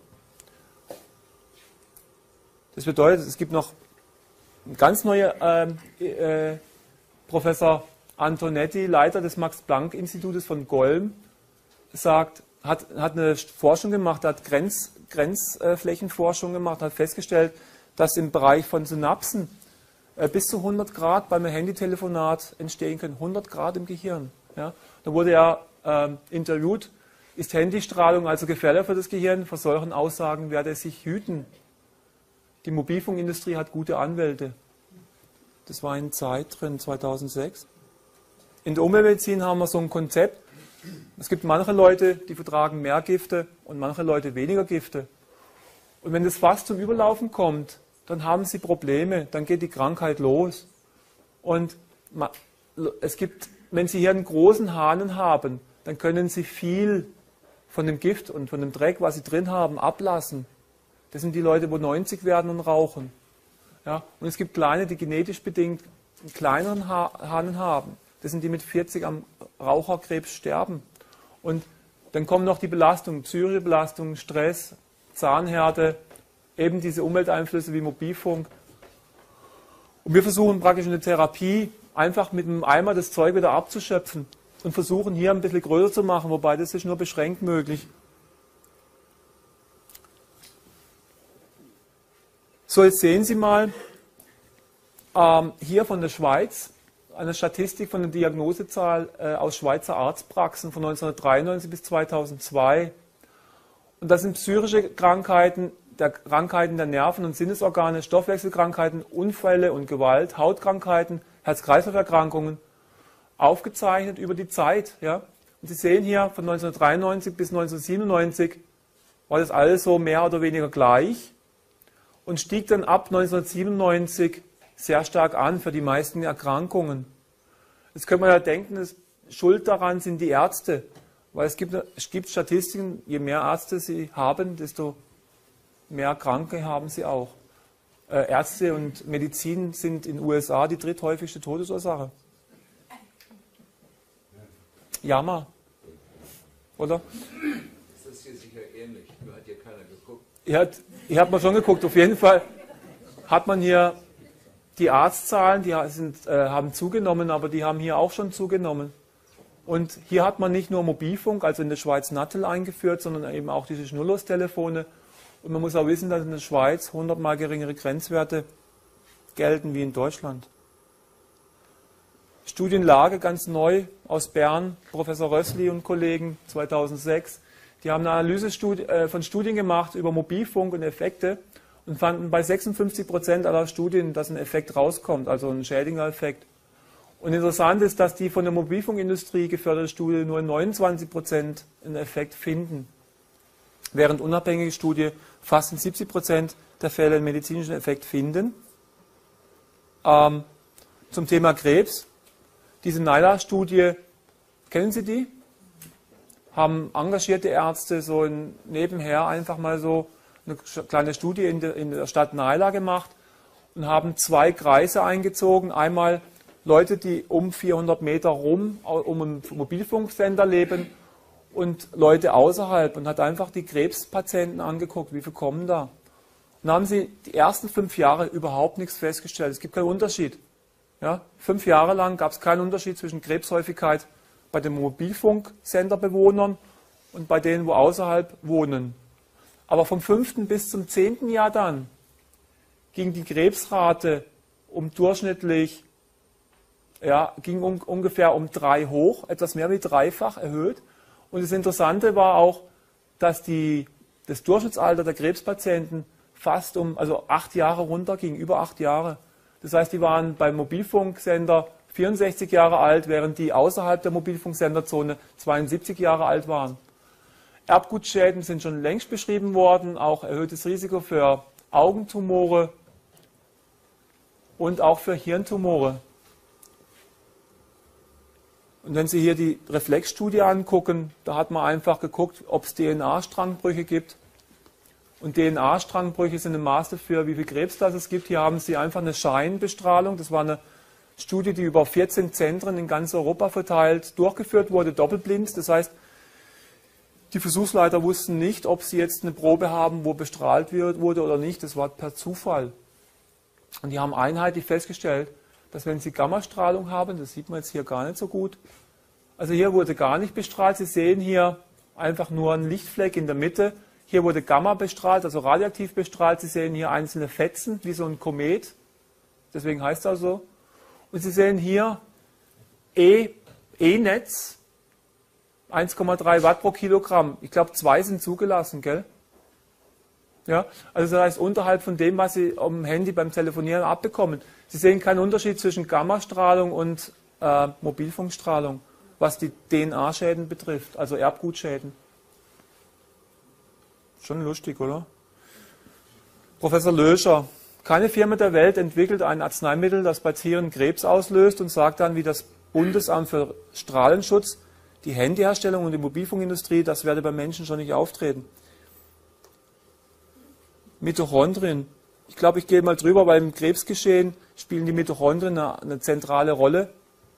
Man weiß, dass diese Mikrowellenstrahlung, das ist für die Insider, zu einer Polarisierung von äh, Stickoxid führt. Stickoxidmoleküle und Sauerstoff und einen Elektronenrausch schlägt. Der Spin wird auch geändert, sodass sie freie Radikale äh, erzeugen damit und damit die freie Radikalbelastung im Körper stark erhöhen. Und wenn sie schon vorgeschädigt sind durch andere Sachen, wie zum Beispiel Amalgam oder zu viel schlechtes Nahrungsmittel, zu wenig Vitamine, dann kann es sein, dass sie empfindlicher auf Elektrosmog reagieren. Mitochondrien haben sie etwa fast 1500 pro Zelle drin. Die Oberfläche ihrer Mitochondrien sind äh, 100.000 Quadratmeter. Wie groß ist deine Wohnung? Wie viele Quadratmeter hat die? Ja? 100 oder 150? Ja, das sind 100.000. Das Tausendfache. Da gehe ich jetzt aber nicht ganz genau ein, weil, weil es fehlt in das Thema. Noch andere Krankheiten, ja. EEG-Veränderungen sind äh, auch jetzt mit Annals of Neurology 2006 gefunden worden, dass die Spermien kaputt gehen, da komme ich noch drauf. Kopfschmerzen, da gibt es eine Dosiswirkungsbeziehung sogar. Sehstörungen, Hautkribbeln, Wärmegefühl am Ohr, Müdigkeit, Depressionen, Konzentrationsschwäche. Melatonin geht runter, da haben Sie gestern schon viel gehört drüber. Blutdruckerhöhung, Cholesterinerhöhung interessanterweise auch. Mittlerweile sterben relativ viele Leute jung, mit 40, am plötzlichen Herztod. Das, das, nimmt momentan zu. Ähm, die Durchblutung geht zurück, dann Schlafstörungen, Konzentrationsschwäche, Tinnitus, Kopfschmerzen, Herzrhythmusstörungen, Depression. Zum Thema Durchblutung kennen Sie alle die Dunkelfeldmikroskopie. Man weiß, dass die Oberfläche der Erythrozyten, der roten Blutkörperchen, negativ geladen sind und die stoßen sich gegenseitig ab. Und wenn Sie mit dem Mobilfunkhandy telefonieren, dann gibt es diese Geldrollenbildung. Diese Negativionisi also äh, Ladung der Oberfläche nimmt ab und deswegen können die sich anziehen. Dann gibt es praktisch diese, diese Kräfte, wo die sich zusammenballen. Und das Dumme ist, dass sie ihre Kapillaren damit verschließen. Ihre Durchblutung geht runter. Und das ist nicht nur so bei den Leuten, die, die telefonieren. Ich fahre relativ viel Bahn. Auch bei dem Passivtelefonieren geht es so. Ja, wenn Sie 1,70 Meter Abstand haben, dann sehen Sie hier bei dem Menschen hier, der, der meint, er könnte sich abschirmen, der liest Zeitung mit Ohrenstöpsel. Da kriegt er Geldrollenbildung und selbst nach 20 Minuten sehen Sie es noch. Bei dem hier, der telefoniert hier vor dem Telefonat, dann nach dem Telefonat hat er hier diese Geldrollenbildung und erst 40 Minuten nach dem Telefonat hat er wieder normale Ladungsverhältnisse von den roten Blutkörperchen. Das erreichen sie gar nicht mehr heutzutage. Ja? Und wir das halt wissen, das ist ein Bild vom, vom Dietrich bzw. vom Berg, dass ihre Kapillaren 400.000 Kilometer lang sind, ihre Blutgefäße, wenn man sie aneinander reiht. Ich habe es heute gehört, dass die Anzahl, also die Länge der Nervenfasern 150 Millionen Kilometer sind, also noch viel mehr. Aber wenn Sie überlegen, dass 95 Prozent dieser Strecke, wo in Ihrem Körper, in einem Körper drinsteckt, Kapillaren sind, die sieben bis zehn Mikrometer breit sind, da passen die einfach nicht mehr durch, diese Würste von Erythrozyten. Dann geht die Durchblutung runter. Ja. Bis zu zehn Minuten nach Ihrem letzten Handygespräch stehen Sie unter erhöhtem Unfallrisiko. Das, steht, das liegt nicht daran, dass sie mit dem Handy abgelenkt sind, weswegen so viele Unfälle passieren. Viele Unfälle sind auf Handygespräche zurückzuführen, sondern einfach wegen der Strahlung. Die haben in England, vor allen Dingen in England, viele Studien dazu gemacht. Die haben festgestellt, dass ihre Reaktionszeit genauso schlecht ist, als wenn sie 0,8 Promille haben im Blut an Alkohol. Die Spermen, Spermien gehen runter, die Fortpflanzungsfähigkeit geht schon nach fünf Tagen. Handy, Standby-Betrieb im Hosensack geht um 30 Prozent runter. Und eine aktuelle Studie, die jetzt 2006 rausgekommen ist, dass Vieltelefonierer weniger Samenzellen haben und diese Samenzellen sind weniger beweglich als die, wo nie telefonieren. Professor sagt, früher haben wir mit Mikrowellen Geburtenkontrolle gemacht, heute telefonieren wir damit. Und jetzt kommt es noch interessant, warum hören Sie von dem Ganzen nichts? Also Ärzte sind in Deutschland zumindest mal angewiesen, auch in Österreich, Leute, die kommen und sagen, sie haben Angst vor Mobilfunkstrahlung oder sie haben Probleme durch Mobilfunkstrahlung, dass man die psychiatrisch diagnostiziert. Das heißt, sie bekommen eine psychiatrische Diagnose. Sie werden in die, in die Ecke der Hypochondrie gestellt.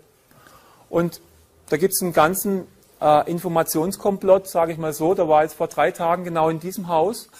Weißt, weißt du das, Dietrich? Also genau im Infocenter hier am äh, 15.11. war das. War hier eine zertifizierte medizinische Fortbildung für Ärzte. Mobilfunk und Gesundheit. Ja, die machen eine Tour durch Deutschland und die waren eben vorgestern hier. Professor Mühlendahl, den kenne ich von der Arbeit in, im Robert-Koch-Institut in Berlin. Der ist Vorsitzender von der Amalgamkommission.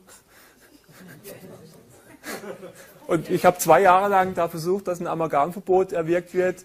Jetzt haben die das alles wieder rausgekürzt. Also im Endeffekt kommt jetzt was raus. Amalgam ist unschädlich. Das hatte zwei Jahre lang gedauert. Ähm, und das Ganze wird gesponsert vom Informationszentrum Mobilfunk e.V. Es denkt normalerweise der Arzt, das ist ja interessant, das ist ein Informationszentrum Mobilfunk, ein eingetragener Verein, also irgendein Verein, wo sich kümmert um die Informationen zum Thema Mobilfunk. Nur müssen Sie wissen, dass in diesem Informationszentrum Mobilfunk e.V., sind nur Mobilfunkfirmen drin. Das bedeutet, die ganze Mobilfunkindustrie sponsort zertifizierte ärztliche Fortbildung zum Thema Mobilfunk und Gesundheit. Und diese Caroline Herr, die stellvertretende Direktorin von der Universität, also Umweltmedizin und Hygieneinstitut der Universität Gießen und die haben eine Ambulanz und die haben schon vor zehn Jahren diese Ambulanz gehabt und haben ganz viele Amalgampatienten behandelt und haben festgestellt, die sind alle psychisch krank. Und jetzt haben sie gerade den Trend, dass sie ganz viele Mobilfunkgeschädigte behandeln. Über 200 hat sie schon gehabt und die haben alle gefunden, die haben eine somatoforme Konversionsstörung. Also eine psychische Krankheit, eine psychische Ursache für diese Beschwerden, also Kopfweh, Konzentration, Schlaflosigkeit und so weiter und so fort. Die werden dann auch psychotherapeutisch behandelt, beziehungsweise psychiatrisch. Da gibt es gute Medikamente, die Umsätze gehen da hoch. Also der Uli Weiner, der jetzt einer noch da sein wollte, der hat mit ihr mal Politis-Diskussion gehabt. Der Herr Schorb auch, ein Physiker, der hier anwesend ist, der sehr viel tut. Von ihm gibt es auch ein Video, wo er im Rieselfeld hier äh, dies, dieses Jahr gehalten hat, einen sehr, sehr guten Vortrag. Im Rieselfeld gibt es eine Straße neben einer Schule. Diese Schule hat einen Mobilfunksender obendran und in diesem Rieselfeld, in dieser Straße, haben sie 25 Krebsfälle. Auch kleine Kinder mit Hirntumoren, mit Glioblastom. Ganz verrückt. Und nebendran der Kindergarten ist ein Spielplatz. Die halten sich nur da auf. Schon kleine Kinder mit Glioblastom ist verrückt. Und was sagt, was sagt Freiburg, OB Freiburg dazu? Was sagt er dazu zu dieser Häufung von Krebs? Also erstens, die Badische Zeitung hat aus diesen 25 Krebsfällen nur einen Krebsfall gemacht. Das zweite ist, äh, offizielle äh, Statements zu diesem Thema waren, ja, das Rieselfeld war behindertengerecht oder ist behindertengerecht gebaut. Das heißt, wir haben hier einen hohen Prozentsatz von kranken und behinderten Menschen und deswegen haben sie mehr Krebspatienten. Das ist das Problem. Hier werden übrigens die ganzen Mediz äh, Leute von medizinischen Diensten auch ausgebildet, Sozialmediziner, sodass sie, wenn sie irgendwelche Rentenanträge oder Berufsunfähigkeitsanträge stellen, ähm, genau in die richtige Hände kommen. Ja. Und jetzt kommt es noch dazu, es gibt ja immer wieder Studien, die zeigen, dass überhaupt kein erhöhtes Risiko ist bei Mobilfunktelefonieren oder schnurlos telefonieren. Aktuelles Beispiel, was dazu geführt hat, dass in der Bildzeitung drin war, dass Mobilfunk äh, unschädlich ist oder auch in Fokus oder im Spiegel oder Süddeutsche Zeitung, ist diese Interphone-Studie, die in verschiedenen äh, Ländern durchgeführt wird und wo man einfach Leute beobachtet, ob sie mehr Krebs bekommen, wenn sie mit dem Handy telefonieren. Und alle sagen, ja toll, das ist eine Interphone-Studie. Man muss ja wissen, 40 Prozent von dieser Interphone-Studie wird von der Mobilfunkindustrie finanziert. Das ist eine. Und das zweite, die Beobachtungsdauer war jetzt nur vier Jahre.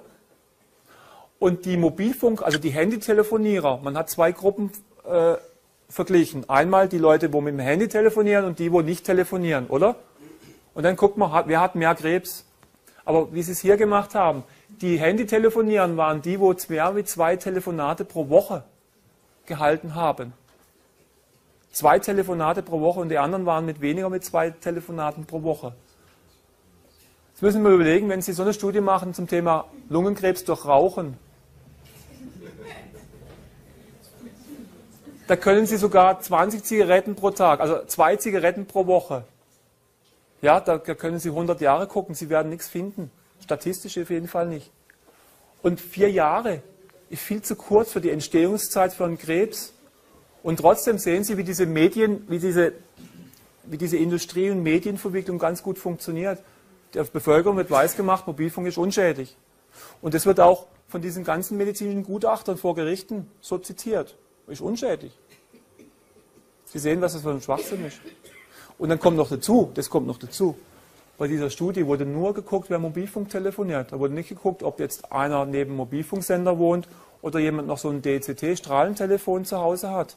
Kann ja sein, dass der, wo viel mit dem Mobilfunkhandy telefoniert, im Funkloch wohnt, während der andere direkt neben dem Mobilfunksender wohnt. So kann man Studie beeinflussen.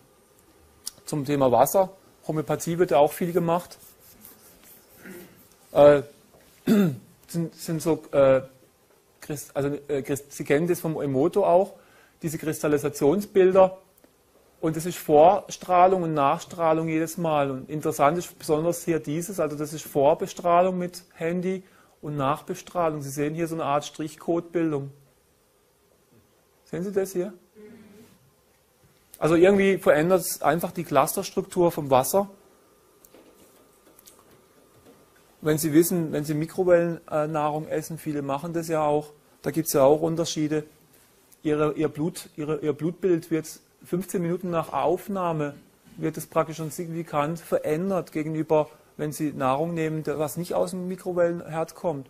Das sind Forschungen von Lausanne, von der Professor Hertel, der dann hinterher verklagt wurde und rausgeflogen ist aus der Universität in der Schweiz. Man muss ja gelogen haben, oder? Bitte? Ja, der hat so voll gelogen. nee, es ist so, er wurde vom Europäischen Gerichtshof, hat er Recht bekommen. Und er müsste eigentlich sein ganzes Geld wieder zurückkriegen. Aber die Schweizer haben es bisher verweigert. Hier sind zwei Pflanzen. Einmal, eine Pflanze bekommt Mikrowellenwasser, ähm, also nicht heißes Wasser, sondern nur Mikrowellen erhitzt und dann wird abgekühlt. Und das andere kriegt das reine, also gereinigtes Wasser. Und Sie sehen, am Tag 1 gibt es kein Problem. Tag 2, äh, Tag 3 Tag 5, Tag 7, Tag 9. Dieser, dieser Informationsgehalt vom Wasser muss irgendwie anders sein. Ja. Jetzt noch interessant zu den Bienen. Sie wissen, dieses Jahr kam in Science eine ganz heiße Studie raus.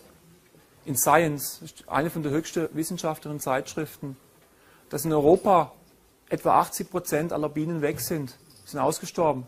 80 Prozent aller Bienen sind weg. Ähm, hier ein Zitat vom Imker. Es gibt einige, auch Professor äh, Dr. Wanke von der Universität im Saarland, der sich sehr gut auskennt mit den Bienen.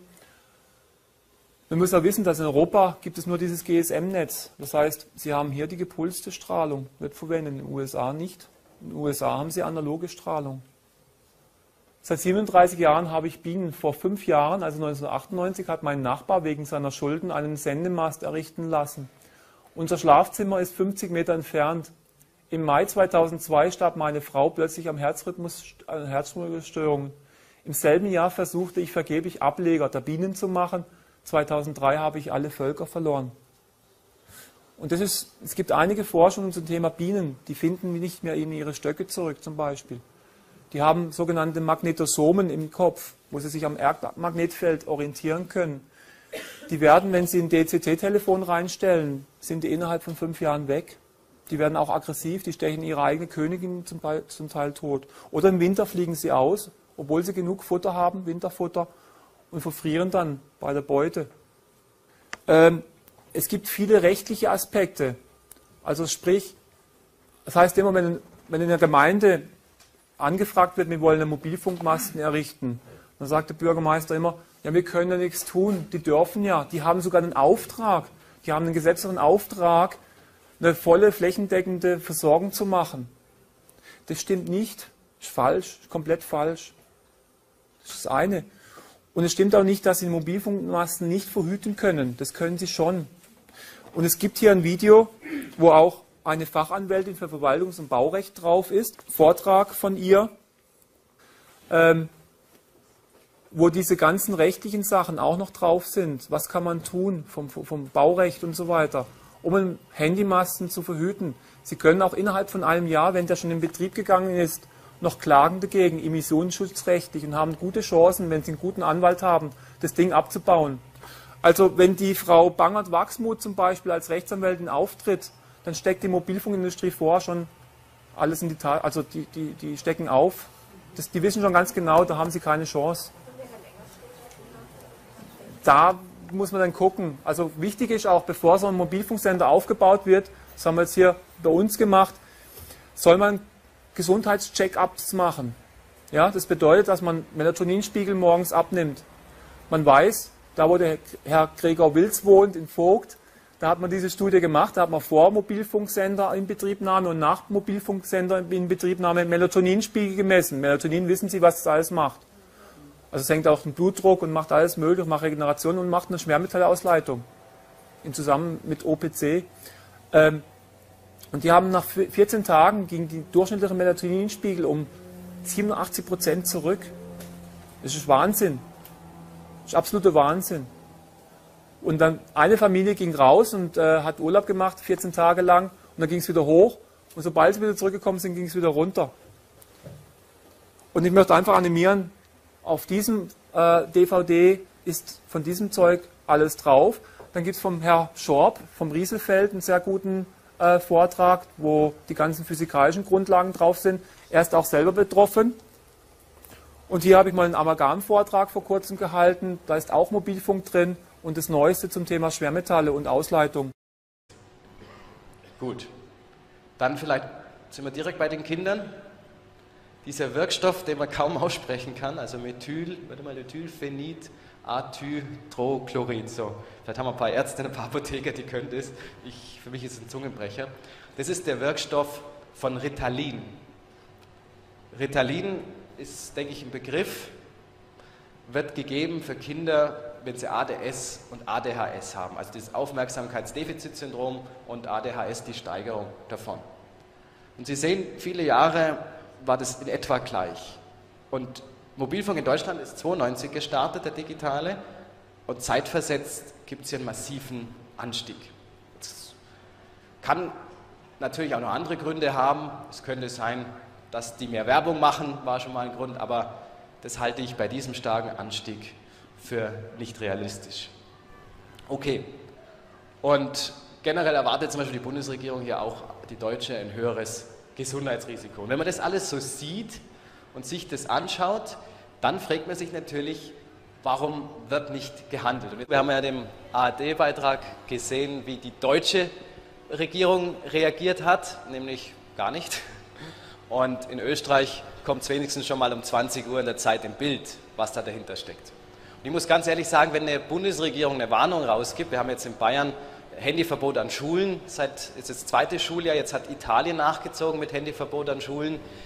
Wenn solche Warnungen kommen, dann ist es eigentlich schon mehr als fünf nach zwölf, vielleicht schon halb eins. Ja.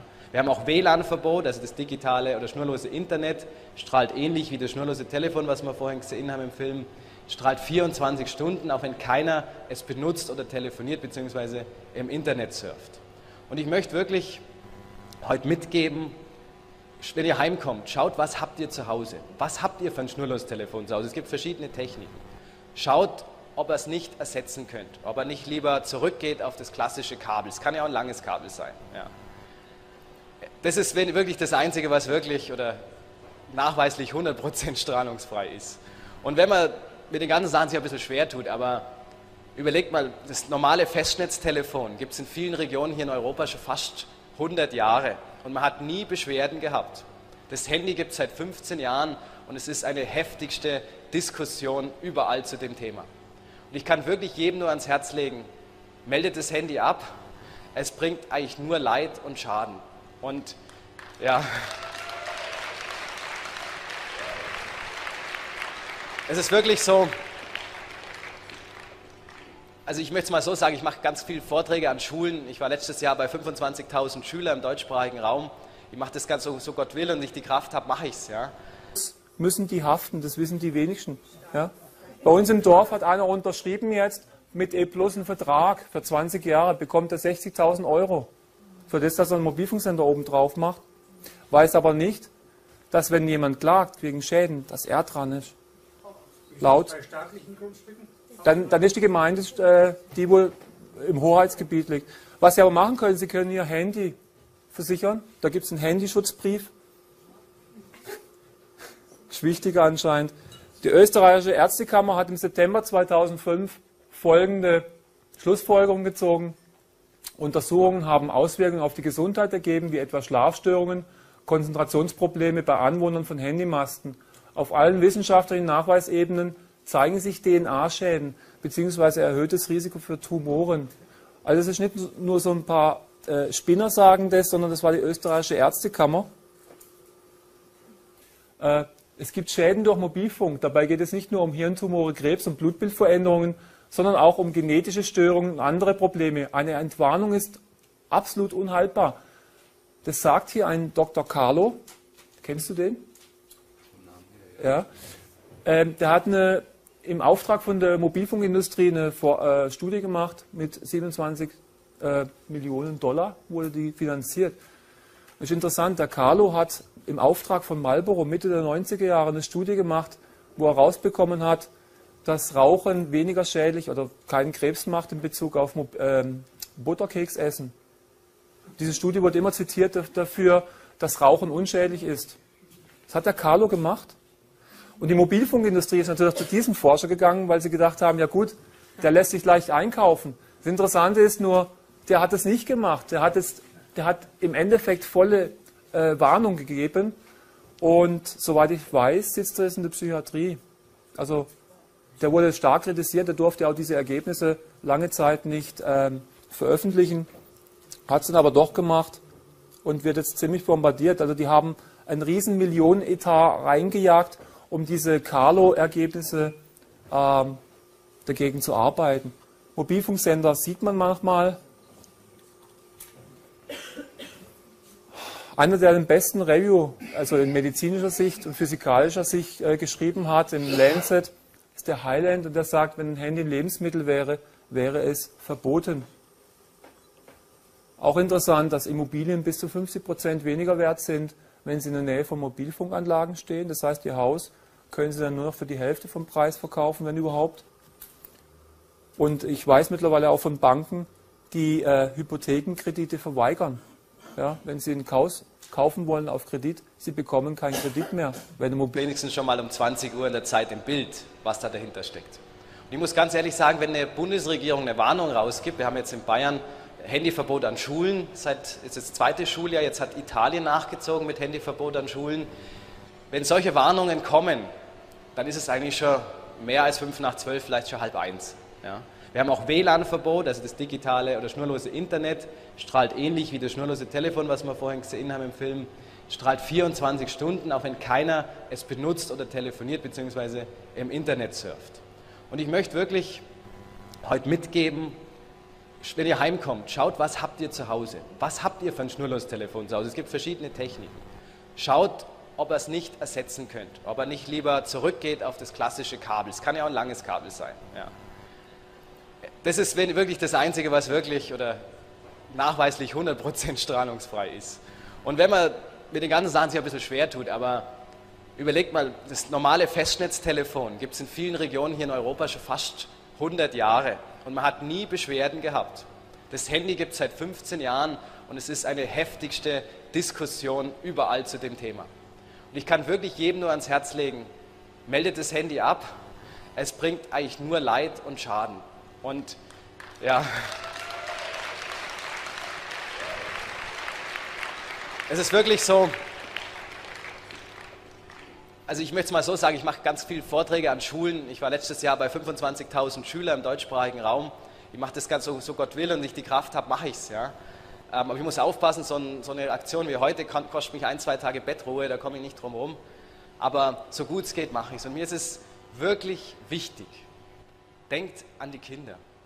Die bekommen, allein die Strahlung, die jetzt da ist, die jetzt als Passivtelefonier, jemand, der diese Technik nicht nutzt, allein was jetzt da ist, und ich will es mal vielleicht, ich zeige es vielleicht auch mal kurz, aber man kriegt hier einen Schrock.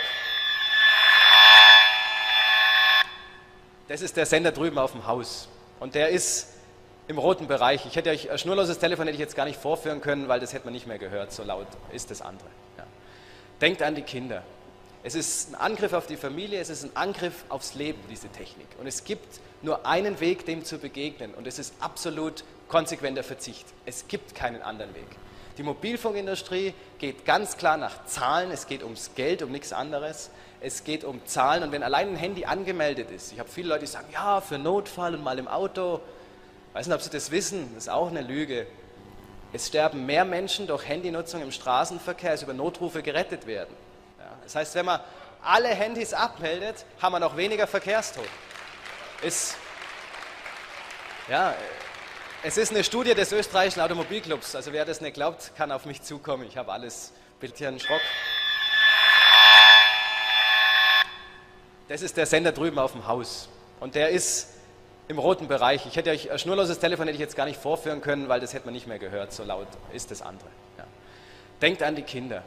Es ist ein Angriff auf die Familie, es ist ein Angriff aufs Leben, diese Technik. Und es gibt nur einen Weg, dem zu begegnen. Und es ist absolut konsequenter Verzicht. Es gibt keinen anderen Weg. Die Mobilfunkindustrie geht ganz klar nach Zahlen, es geht ums Geld, um nichts anderes. Es geht um Zahlen und wenn allein ein Handy angemeldet ist, ich habe viele Leute, die sagen, ja, für Notfall und mal im Auto, weiß nicht, ob Sie das wissen, das ist auch eine Lüge. Es sterben mehr Menschen durch Handynutzung im Straßenverkehr, als über Notrufe gerettet werden. Ja, das heißt, wenn man alle Handys abmeldet, haben wir noch weniger Verkehrstod. Ist, ja, es ist eine Studie des österreichischen Automobilclubs. Also wer das nicht glaubt, kann auf mich zukommen. Ich habe alles belegt, was ich hier sage. Ja. Und das Zweite ist, jetzt sind wir in den Bergen. Wir haben die Lawinenrettung, wir haben die Bergwacht in den bayerischen Bergen. Die kommen immer wieder und sagen, seit wir die Handys haben, haben wir nur Arbeit. Die Leute gehen alleine in die Berge, sie gehen spät in die Berge, sie fahren im Winter nicht zugelassene Pisten, so nach dem Motto, ich habe ja mein Handy dabei. Ja? Und es ist eine falsche, trügerische Sicherheit. Es ist keine Sicherheit. Ja? Und wie gesagt, es gibt nur einen konsequenten Verzicht, um dem zu begegnen. Ich weiß, dass es gerade für die jungen Leute vielleicht am Anfang nicht ganz so leicht sein wird. Ich habe die Phase schon hinter mir, also wer Tipps braucht, kann zu mir kommen. Also es gibt da Wege, auch im Geschäftsleben, auch als Jugendlicher, dass man wirklich seinen Handykonsum stark reduziert und dann mittelfristig ab, also ganz lässt am besten. Wir haben in Deutschland jetzt acht Mobilfunknetze, in der Schweiz ist es genauso. Die können alle irgendwo leben, zwar nicht mehr gut, die schreiben überwiegend rote Zahlen, aber noch haben sie genug. Und wenn der Verbraucher nicht mehr telefoniert, dann gibt es eine Chance. Ja. Also das will ich jetzt vielleicht damit abschließen auch. Ich kann noch sicher noch stundenlang erzählen, aber der Iber steht schon auf, er möchte auch was sagen. Ich sage vielleicht noch abschließend dazu, ähm, die Ursache von all dem, und das wissen viele hier viel besser, als es ich weiß, ein Handy dient auch zur totalen Kontrolle. Ja? Das heißt, ihr müsst euch bewusst sein, wenn es Verfolgung gibt, und die ist schon im Vorbereiten, ein einziger, der ein Handy hat, in zum Beispiel einer Geheimversammlung, ist, ist ortbar und verrät alle anderen mit. Das muss man wissen. Ja. Ein Handy ist die totale Überwachung schlechthin. Und in Deutschland haben wir jetzt noch die Vorratsdatenspeicherung, in der Schweiz ist es mittlerweile auch so. Jedes Handygespräch, also mit, also mit wem hat man angerufen, wie lange hat man gesprochen, dann jede SMS, also beim Handygespräch nur, wen hat man angerufen, nicht den Inhalt. Die SMS wird mit Inhalt ein halbes Jahr gespeichert und das ganze Bewegungsprotokoll von, von Bereich des Passivtelefonierens, also ihr kennt es vom Rauchen, passiv rauchen, passiv telefonieren, ist das Gleiche. Ich komme auch noch, das ist mir auch ganz speziell, dieses passiv telefonieren, das geht es ganz speziell dann auch um die Kinder. Da haben wir nämlich dann gleich den Angriff auf die Familien, der damit läuft mit dieser Technik.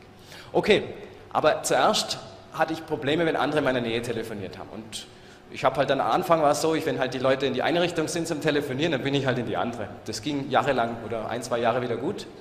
Und dann begann es damit, wir waren auf einer großen Tagung in München, Hotel, alles außer 2000 Leute, äh, alles voll und auf einmal bekomme ich massive Sehstörungen, ich bekomme Herzrhythmusstörungen und bricht zusammen.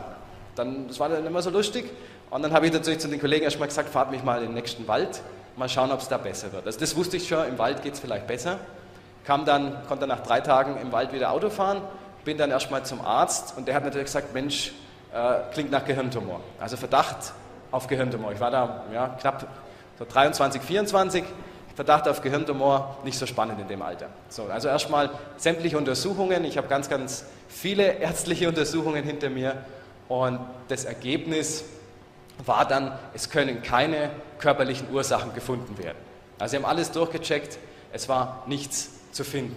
Und ich war natürlich erst einmal, ist es vielleicht psychisch, kommt dann der Gedanke, ist es eine dämonische Belastung, könnte sein. Also es kamen so ganz, ganz viele Geschichten und das war es alles nicht.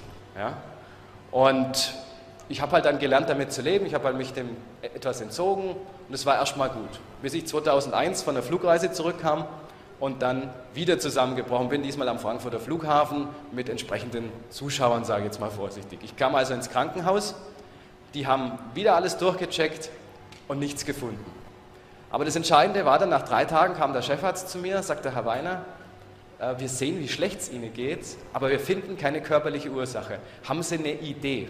Habe ich mir gedacht, ja nett, der Chefarzt kommt zu mir, fragt mich, naja, weil ich ja jetzt der Spezialist bin, gut, ich bin Funktechniker, aber mehr auch nicht. Und dann habe ich es ihm halt erklärt, so meine Beobachtungen mit dem Funk. Und dann hat er gesagt, naja, also so richtig gehört habe ich das noch nicht, aber er will mal einen Spezialisten fragen. Und das eine habe ich mitgehört, er kam nach drei Tagen wieder und brachte mir eine Studie mit. Sie sehen es, Deutsche Medizinische Wochenschrift. Und jetzt schauen Sie mal aufs Datum. 5. August 1932. Als eingefleischter Funktechniker habe ich natürlich gleich gedacht, 1932 gab es noch keine Handys. Das war auch richtig, aber man sieht es jetzt hier schon, es gab ganz starke Sender im Kurzwellenbereich, also wie der vorhin erwähnte Sender in Schwarzenburg zum Beispiel. So, und die haben also da Forschungen gemacht in den 30er Jahren zum Funk. Wir haben dann schon gehört, wie weit die Deutschen dann auch waren, Ende der 40er Jahre in Bezug auf ungefährlich ist. Das war mal sein Spruch. Aber wie gesagt, junge Leute, da rein, da wieder raus. Und in dem Zusammenhang ist mir wieder eingefallen. Und dann habe ich angefangen, Selbstversuche zu machen. Ich habe erstmal gesagt, okay, heute wird mal nicht telefoniert. Wie fühlst du dich dann? Alles klar, hat funktioniert. Dann habe ich wieder absichtlich viel telefoniert, habe gesagt, wie fühle ich mich dann? Wie kann ich arbeiten? Wie ist meine Arbeitsleistung? Wie ist meine Konzentrationsleistung? Und die war dann entsprechend schlecht. Das waren so die ersten Symptome und das hat bei mir dazu geführt, dass ich gesagt habe, Handy kommt mir raus. Ich habe die ganze Firma umstrukturiert, wir hatten einen großen Außendienst, aber das war alles gar kein Problem. Wir haben, dann damals kam noch eine neue Technik, die ihr heute auch größtenteils alle kennt, denke ich mal, das Internet und wir konnten da sehr viel umstrukturieren. Aber das, also es geht auch ohne Handy, das habe ich dann auch mehrfach bewiesen über viele Jahre. Okay, für mich war das Thema Handy damals dann erst einmal zu Ende, aber es ging weiter. Das kam damals dieser Handyboom. Es kam, weiß nicht, ob, ihr das noch wisst, in Deutschland war das zum Beispiel eine Million neue Kunden pro Monat. Also es gab keinen oder gab es heute keine wirtschaftliche Entwicklung oder keine Neuheit, die so rasanten Absatz gefunden hat wie das Handy. Und damals kam eben, wie gesagt, eine Million neue Kunden pro Monat dazu. Also das sind Zahlen, wie gesagt, die man sich kaum vorstellen kann. Und entsprechend begann es natürlich dann damit, dass die Handys überall da waren. Und wenn ich natürlich, gerade im Geschäftsleben, äh, wenn ich dann zu einem Vortrag gegangen bin oder zu einer Fortbildung, es waren immer Leute mit Handys. Und das war am Anfang äh, erst auch mal kein Thema, aber es begann dann damit, dass ich gemerkt habe, wenn andere Leute in meiner Nähe telefonieren, habe ich die gleichen Probleme. Also Nähe heißt, damals waren das vielleicht 15, 15 Meter. Also wir kommen da jetzt in den Bereich des Passivtelefonierens. Also ihr kennt das vom Rauchen, passiv rauchen, passiv telefonieren ist das Gleiche. Ich komme auch noch, das ist mir auch ganz speziell, dieses telefonieren. Es geht es ganz speziell dann auch um die Kinder. Da haben wir nämlich dann gleich den Angriff auf die Familien, der damit läuft mit dieser Technik. Okay, aber zuerst hatte ich Probleme, wenn andere in meiner Nähe telefoniert haben. Und ich habe halt dann am Anfang war es so, ich, wenn halt die Leute in die eine Richtung sind zum Telefonieren, dann bin ich halt in die andere. Das ging jahrelang oder ein, zwei Jahre wieder gut. Und dann begann es damit, wir waren auf einer großen Tagung in München, Hotel, alles außer 2000 Leute, äh, alles voll und auf einmal bekomme ich massive Sehstörungen, ich bekomme Herzrhythmusstörungen und bricht zusammen. Dann, das war dann immer so lustig und dann habe ich natürlich zu den Kollegen erstmal gesagt, fahrt mich mal in den nächsten Wald, mal schauen, ob es da besser wird. Also das wusste ich schon, im Wald geht es vielleicht besser. Kam dann, konnte nach drei Tagen im Wald wieder Auto fahren, bin dann erstmal zum Arzt und der hat natürlich gesagt, Mensch, äh, klingt nach Gehirntumor. Also Verdacht auf Gehirntumor. Ich war da ja, knapp so 23, 24. Verdacht auf Gehirntumor, nicht so spannend in dem Alter. So, also erstmal sämtliche Untersuchungen. Ich habe ganz, ganz viele ärztliche Untersuchungen hinter mir und das Ergebnis war dann, es können keine körperlichen Ursachen gefunden werden. Also sie haben alles durchgecheckt, es war nichts. Rauchen. Ja, und es gibt kleine, die genetisch bedingt einen kleineren Hahn haben. Das sind die mit 40 am Raucherkrebs sterben. Und dann kommen noch die Belastungen, psychische Belastungen, Stress, Zahnhärte, eben diese Umwelteinflüsse wie Mobilfunk. Und wir versuchen praktisch in der Therapie einfach mit einem Eimer das Zeug wieder abzuschöpfen und versuchen hier ein bisschen größer zu machen, wobei das ist nur beschränkt möglich. So, jetzt sehen Sie mal ähm, hier von der Schweiz eine Statistik von der Diagnosezahl äh, aus Schweizer Arztpraxen von 1993 bis 2002. Und das sind psychische Krankheiten, der Krankheiten der Nerven und Sinnesorgane, Stoffwechselkrankheiten, Unfälle und Gewalt, Hautkrankheiten, Herz-Kreislauf-Erkrankungen, aufgezeichnet über die Zeit. Ja? Und Sie sehen hier von 1993 bis 1997 war das alles so mehr oder weniger gleich und stieg dann ab 1997 sehr stark an für die meisten Erkrankungen. Jetzt könnte man ja denken, dass Schuld daran sind die Ärzte, weil es gibt, es gibt Statistiken, je mehr Ärzte sie haben, desto mehr Kranke haben sie auch. Äh, Ärzte und Medizin sind in den USA die dritthäufigste Todesursache. Jammer. Oder?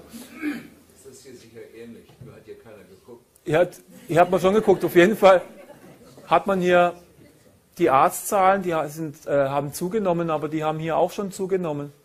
Und hier hat man nicht nur Mobilfunk, also in der Schweiz Nattel eingeführt, sondern eben auch diese Schnurlostelefone. Und man muss auch wissen, dass in der Schweiz 100 mal geringere Grenzwerte gelten wie in Deutschland. Studienlage ganz neu aus Bern, Professor Rössli und Kollegen 2006.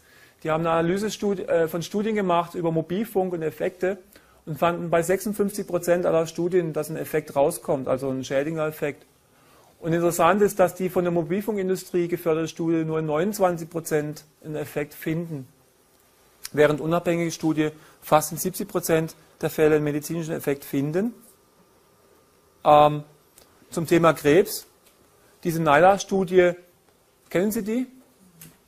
Haben engagierte Ärzte so nebenher einfach mal so eine kleine Studie in der, in der Stadt Naila gemacht und haben zwei Kreise eingezogen. Einmal Leute, die um 400 Meter rum um einen Mobilfunksender leben und Leute außerhalb und hat einfach die Krebspatienten angeguckt, wie viele kommen da. Und dann haben sie die ersten fünf Jahre überhaupt nichts festgestellt. Es gibt keinen Unterschied. Ja, fünf Jahre lang gab es keinen Unterschied zwischen Krebshäufigkeit bei den Mobilfunksenderbewohnern und bei denen, wo außerhalb wohnen. Aber vom fünften bis zum zehnten Jahr dann heißt immer, die Grenzwerte werden eingehalten. Punkt. Und da kann man nichts mehr sagen, das steht mal da mit dem offenen Mund. Grenzwerte sind eingehalten. Schon gemacht mit dem. Ah, okay. Da brauchen wir nichts mehr sagen mit der Erwärmung? Gut. Nein, wir haben nicht viel Zeit, deswegen. Ja, die machen nur die Erwärmung. Das wäre das gleiche, wie wenn Sie äh, radioaktive Strahlung nehmen und den Körper nur einen Grad erwärmen über 30 Minuten? Habt ihr alles schon gemacht? Okay, okay. Und das habt ihr auch schon gemacht, die Grenzwerte, die in Deutschland gelten und die biologischen wirken?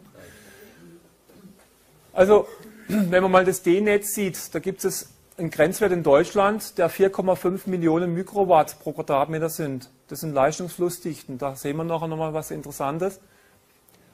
Und der Schweizer Grenzwert ist schon mal 100 Mal niedriger. Ja? Dann, äh, da wo der Herr Schröder immer Urlaub gemacht hat, haben sie 660. Also in Deutschland gelten 4,5 Millionen. Salzburger Vorsorgewert für innen ist 1 Mikrowatt. Sie haben hier einen Grenzwert von 4,5 Millionen.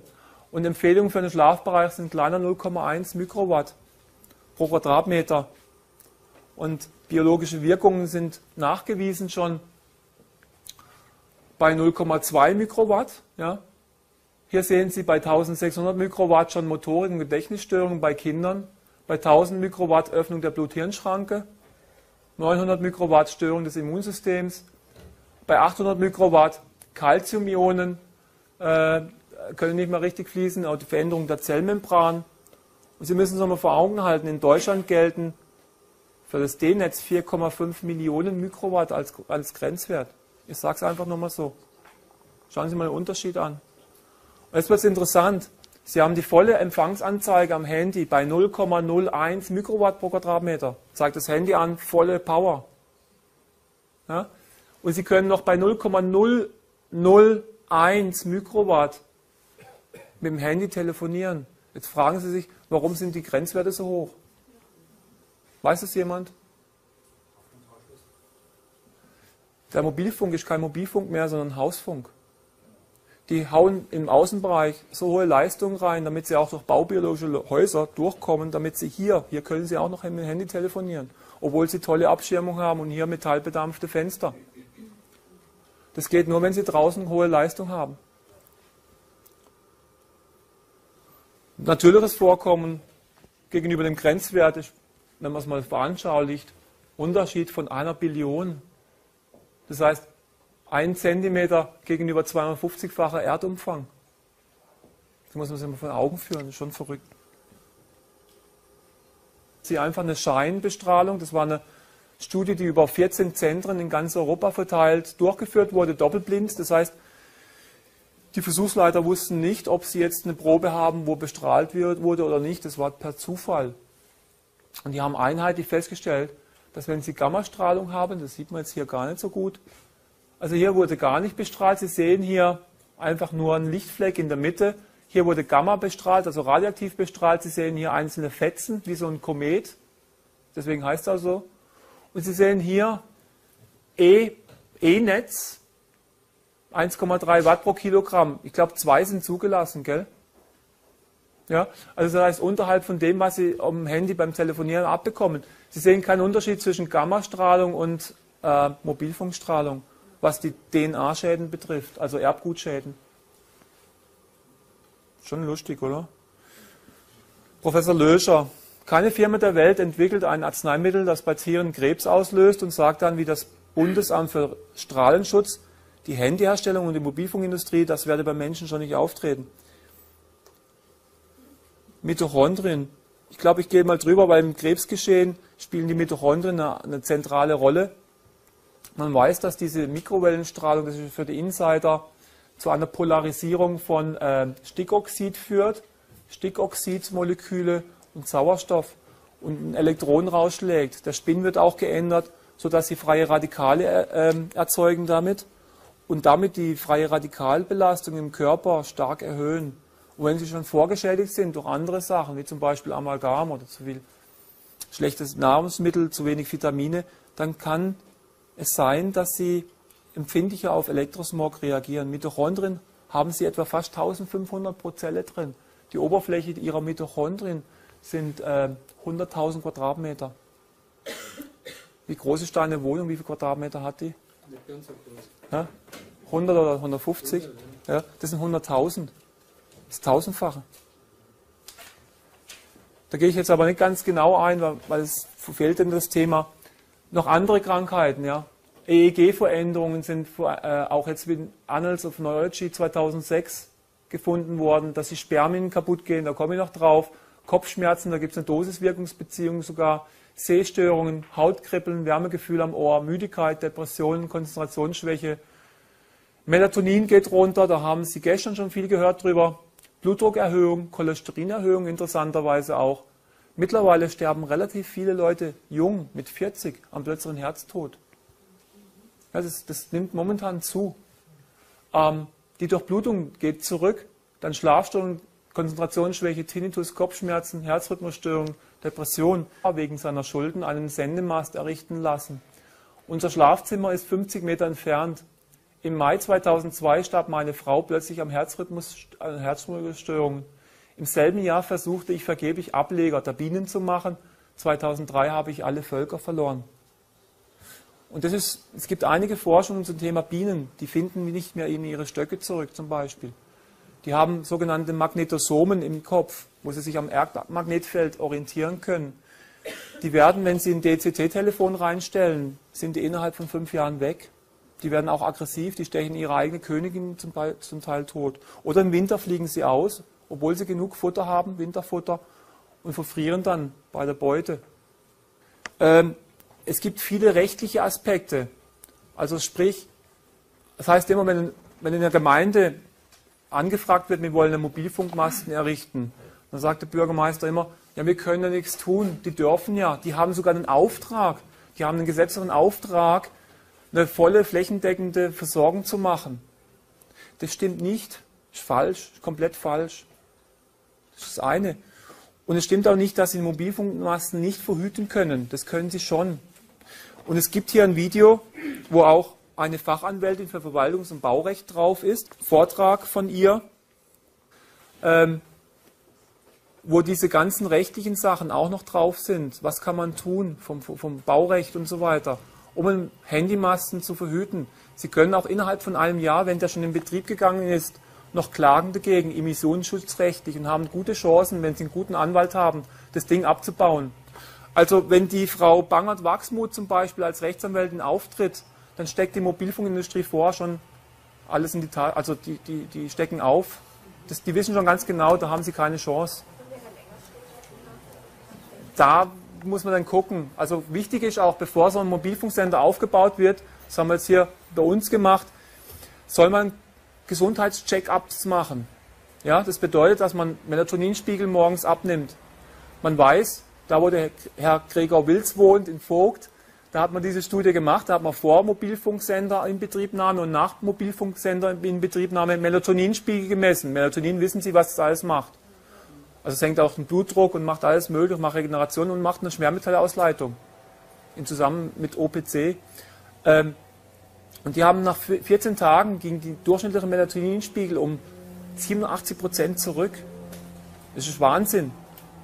Das ist absoluter Wahnsinn. Und dann eine Familie ging raus und äh, hat Urlaub gemacht, 14 Tage lang, und dann ging es wieder hoch. Und sobald sie wieder zurückgekommen sind, ging es wieder runter. Und ich möchte einfach animieren, auf diesem äh, DVD ist von diesem Zeug ein Unterschied von einer Billion. Das heißt, ein Zentimeter gegenüber 250-facher Erdumfang. Das muss man sich mal vor Augen führen, das ist schon verrückt. Gut, dass diese Grenzwertgebung eigentlich äh, negativ bewertet wurde von verschiedenen Fachleuten, auch hier im Auftrag von der neuseeländischen Regierung. Der Professor Sherry hat das ganz klar gesagt, es sollte für die Allgemeinbevölkerung äh, unter 1000 Mikrowatt eingehalten werden. Schauen Sie nochmal den Grenzwert. 4,5 Millionen, bei UMTS sind es 10 Millionen Mikrowatt.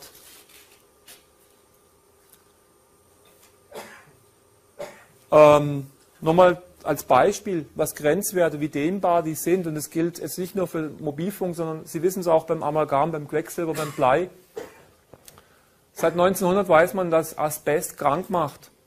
1936 wurde Asbestose erstmals als Berufskrankheit anerkannt und erst 1995 wurde praktisch Asbest verboten. Ja, man weiß, seit, also fast 100 Jahre hat es gedauert, bis man wusste die Schäden und 100 Jahre hat es gedauert, bis man es verboten hat. Und Sie sehen dann die Grenzwerte. 1973 galten noch als sichere Grenzwerte 3 Millionen Asbestfasern pro Kubikmeter. Und das ging dann runter bis jetzt. Die WHO empfiehlt 200 Fasern. Wenn es jetzt Automechaniker waren und die Bremsen immer ausgeblasen haben 1972 und haben Lungenkrebs gekriegt, dann sind sie nicht arbeitsrechtlich nicht als berufskrank anerkannt worden, weil die Grenzwerte immer schön eingehalten wurden. Sie sehen, es verändert sich alles. Die Wahrheit von heute ist der Irrtum von morgen. Dazu sagt der Vorsitzende dieser Grenzwertkommission, wenn man die Grenzwerte reduziert, dann macht man die Wirtschaft kaputt, dann wird der Standort Deutschland gefährdet. Wobei Deutschland natürlich auch noch weltweit mit die höchsten Grenzwerte überhaupt hat. Das ist jetzt interessant, warum das so ist. Schneidsee. Dieser Fernsehsender stand schon lange da. Es gibt einen Bauer hier, der hat äh, viele Rinder und ab 95 war es, glaube ich, gell, kam ein D-Netz drauf. Und ab da hat er festgestellt, dass er erstmal viele Totgeburten hat und Missbildung. Sie sehen hier, dass hier die Knochen abgeknickt sind oder die Hinterbeine auf dem Rücken drauf von dem Kalb. Totgeburten mit ohne Augen, also ohne Augen. oder hier Euterentzündung, viele Tiere sind eingegangen. Es wurde auch untersucht. Offiziell heißt, der hat falsche Futter verwendet. Aber wenn Sie die Professoren, die das untersucht haben, da war auch Professor Käs, glaube ich, dabei von der Bundeswehr hoch, relativ interessant war, weil bisher die Leute, die Mobilfunksender aufs Dach gebaut haben, haben gedacht, okay, ich bekomme sehr viel Geld dafür, wenn ich so einen Mobilfunksender aufs Dach mache. Und zum Zweiten, äh, ich werde nicht bestrahlt vom Nachbar, sondern ich strahle zum Nachbar rüber. Das stimmt nicht. Sie bekommen auch unterhalb des Mobilfunksenders im Haus Spitzen, die sehr hoch sind. Das waren Messungen, die, glaube ich, vom Bundesamt für Strahlenschutz sogar gemacht wurden und hier bei CHIP äh, veröffentlicht waren. Das sind die verschiedenen Frequenzen, die sie haben, ist jetzt nicht so wichtig. Die haben aber alle noch, also D-Netz, E-Netz, UMTS, DECT-Telefone haben sie vorher gesehen, wie das pulst. WLAN geht noch höher in den Gigahertz-Bereich und die haben alle noch eine Taktfrequenz 217 oder 100. Die 100 Hertz scheinen etwas gefährlicher zu sein, sein wie die 217 Hertz, aber es reicht da schon aus. Und wie vorher schon auch gesagt, WLAN wird getaktet mit 10 Hertz, also 10 Mal pro Sekunde kommt ein Impuls raus. Die Handystrahlung liegt praktisch in der Nähe von Mikro, vom Mikrowellenherd.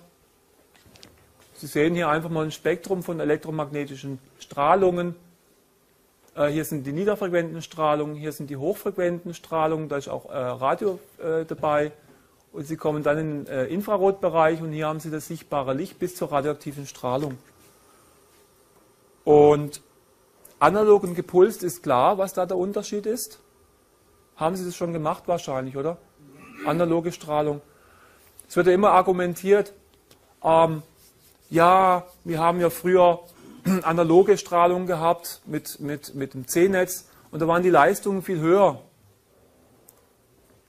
Und jetzt haben wir gepulst und die Leistungen sind niedriger. Sie machen Analog bedeutet, Sie haben kontinuierlich eine Belastung, hier zum Beispiel, ja. Sie haben eine Welle und die wirkt dauernd ein. Und dann können Sie Ihre Informationen auf zwei Arten übertragen. Entweder machen Sie Amplitudenmodulation oder Frequenzmodulation. Das sehen Sie ab und zu auf Ihren Radios. Da steht FM, AM. Haben Sie schon mal gesehen, so ein Schalter? Einmal haben Sie Mittelwelle und einmal haben Sie UKW. Und jetzt kommt die Pulsmodulation, das heißt, Sie machen einfach einen kurzen Puls und da haben Sie die Information drin. Das heißt, was ich Ihnen vorher gesagt habe, das DECT-Telefon, dieses Schnurlostelefon, hat eine Pulsmodulation von 100 Mal pro Sekunde, kommt so ein Impulspaket. Und innen drin verpackt ist eine Frequenz von 1800 äh, Me Megahertz. Ja? 1800 Megahertz. Millionen Her Mal pro Sekunde sind da diese Dinger drin. Und ich vergleiche das immer gern. Ach so, wenn Sie den Mittelwert machen, ja, den Mittelwert der, jetzt wird es interessant. Sie haben die volle Empfangsanzeige am Handy bei 0,01 Mikrowatt pro Quadratmeter. Zeigt das Handy an, volle Power. Ja? Und Sie können noch bei 0,001 Mikrowatt mit dem Handy telefonieren. Jetzt fragen Sie sich, warum sind die Grenzwerte so hoch? Weiß es jemand? Der Mobilfunk ist kein Mobilfunk mehr, sondern Hausfunk. Die hauen im Außenbereich so hohe Leistungen rein, damit sie auch durch baubiologische Häuser durchkommen, damit sie hier, hier können sie auch noch mit dem Handy telefonieren, obwohl sie tolle Abschirmung haben und hier metallbedampfte Fenster. Das geht nur, wenn sie draußen hohe Leistung haben. Natürliches Vorkommen gegenüber dem Grenzwert ist, wenn man es mal veranschaulicht, Unterschied von einer Billion. Das heißt, ein Zentimeter gegenüber 250-facher Erdumfang. Das muss man sich mal vor Augen führen, das ist schon verrückt. Gut, dass diese Grenzwertgebung eigentlich äh, negativ bewertet wurde von verschiedenen Fachleuten, auch hier im Auftrag von der neuseeländischen Regierung. Der Professor Cherry hat das ganz klar gesagt, es sollte für die Allgemeinbevölkerung äh, unter 1000 Mikrowatt eingehalten werden. Schauen Sie nochmal den Grenzwert. 4,5 Millionen, bei UMTS sind es 10 Millionen Mikrowatt.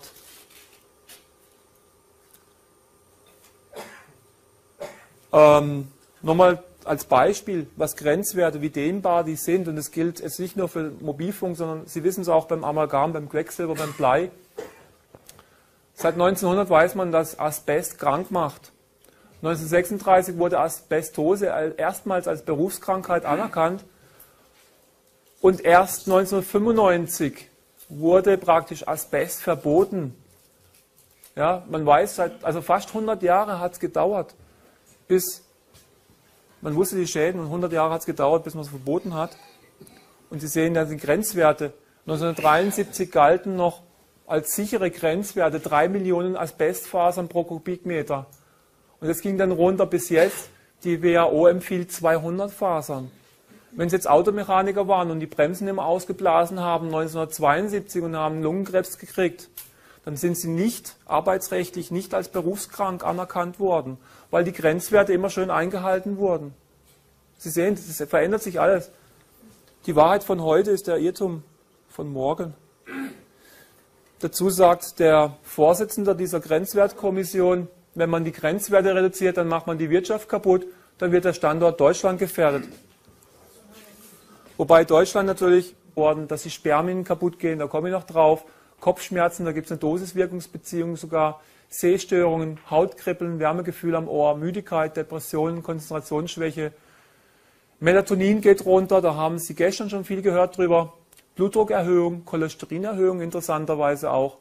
Mittlerweile sterben relativ viele Leute jung, mit 40, am plötzlichen Herztod. Das, das, nimmt momentan zu.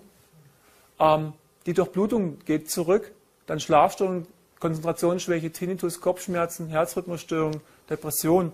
Zum Thema Durchblutung. Kennen Sie alle die Dunkelfeldmikroskopie? Man weiß, dass die Oberfläche der Erythrozyten, der roten Blutkörperchen, negativ geladen sind und die stoßen sich gegenseitig ab. Und wenn Sie mit dem Mobilfunkhandy telefonieren, dann gibt es diese Geldrollenbildung. Diese Negativionisi also äh, Ladung der Oberfläche nimmt ab und deswegen können die sich anziehen. Dann gibt es praktisch diese, diese Kräfte, wo die sich zusammenballen. Und das Dumme ist, dass sie ihre Kapillaren damit verschließen. Ihre Durchblutung geht runter.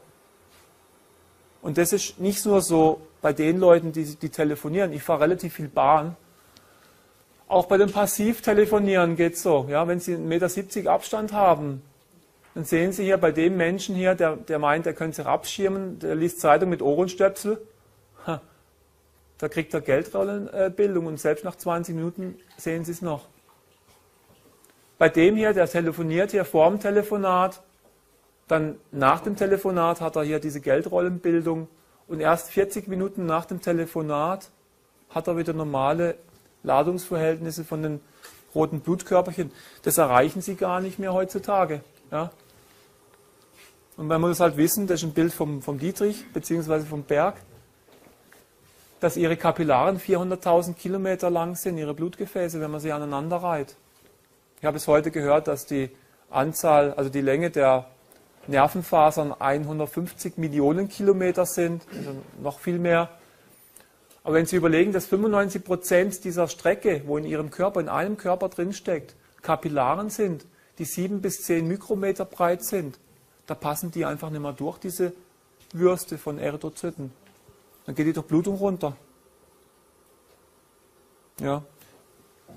Bis zu zehn Minuten nach Ihrem letzten Handygespräch stehen Sie unter erhöhtem Unfallrisiko. Das, steht, das, liegt nicht daran, dass Sie mit dem Handy abgelenkt sind, weswegen so viele Unfälle passieren. Viele Unfälle sind auf Handygespräche zurückzuführen, sondern einfach wegen der Strahlung. Die haben in England, vor allen Dingen in England, viele Studien dazu gemacht.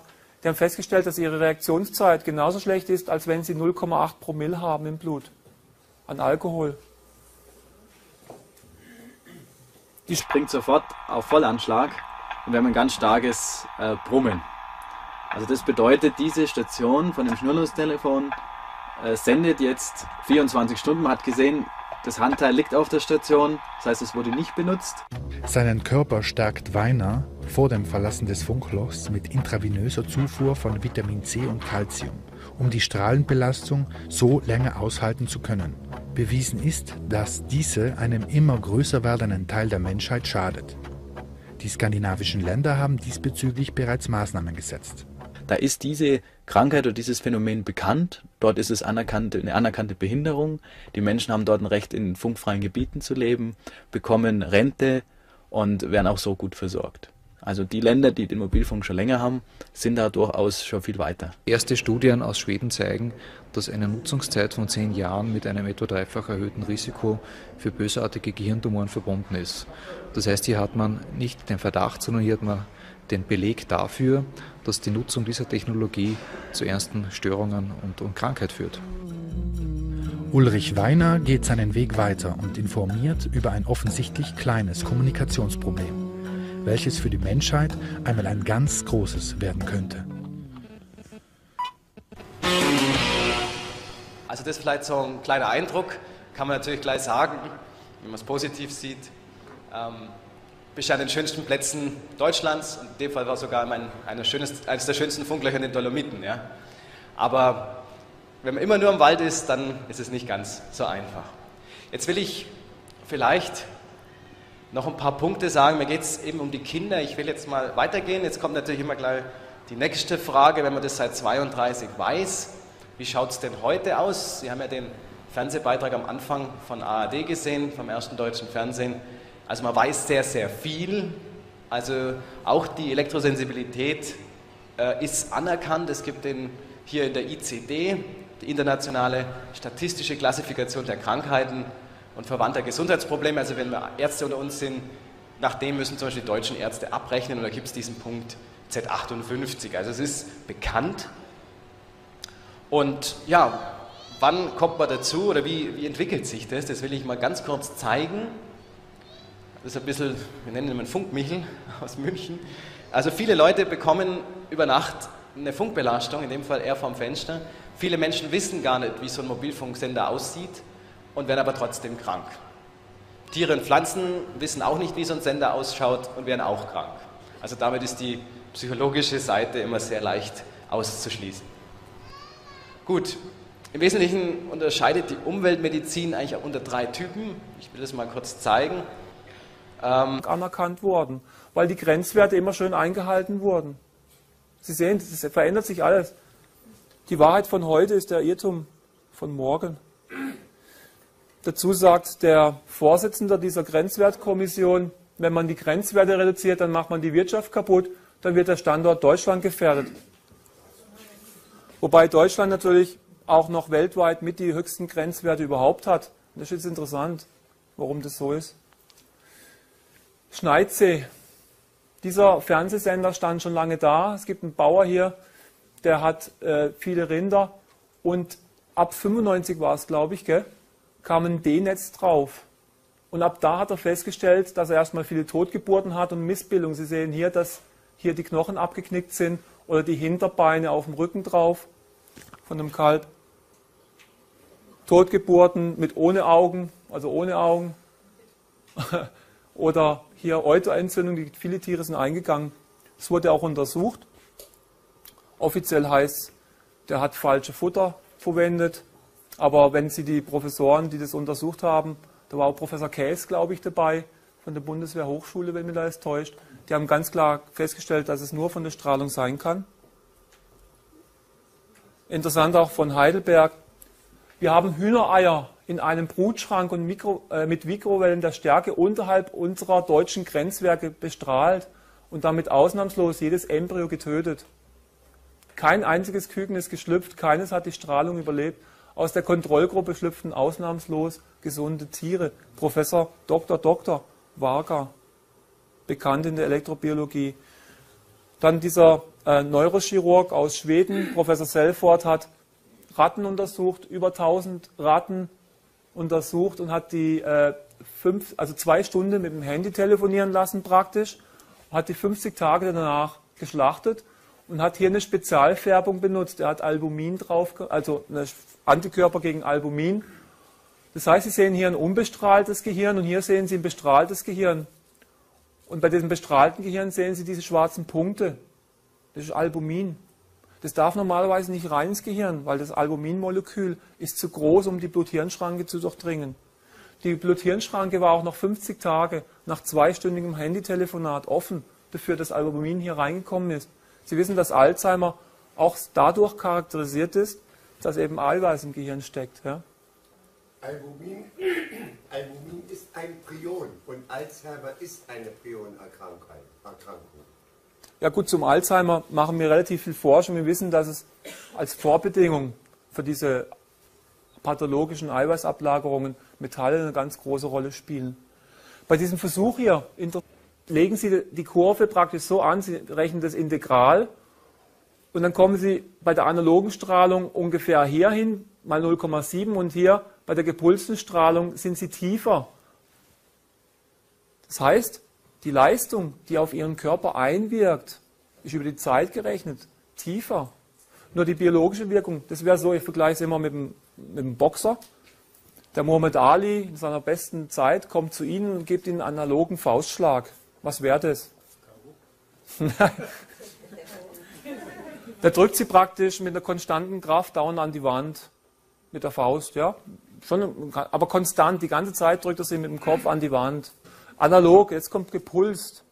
Gepulst, wer der schlägt, hat aber nur ein paar Mikrosekunden ist die Faust auf ihrem äh, Kopf und die ganze andere Zeit also die meiste Zeit eigentlich ist die Faust nicht da. Das heißt eigentlich vom Mittelwert her, also jetzt mal blöd gesagt, wäre es noch weniger.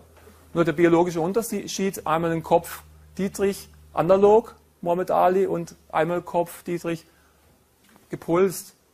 Sieht anders aus. Einer, einmal haben sie eine Matschbirne und einmal haben sie halt blaue Flecken. Gell? So der Unterschied zwischen gepulst Gut, und dann kommt noch dazu, dass dann noch wieder aufmoduliert auf dieser gepulsten Strahlung so eine sehr effektive, äh, das sind verschiedene Slots, wo jetzt bei Mobilfunk übertragen werden. Und diese haben Abstand nochmal eine Aufmodulation von 8,34 Hertz und 2 Hertz.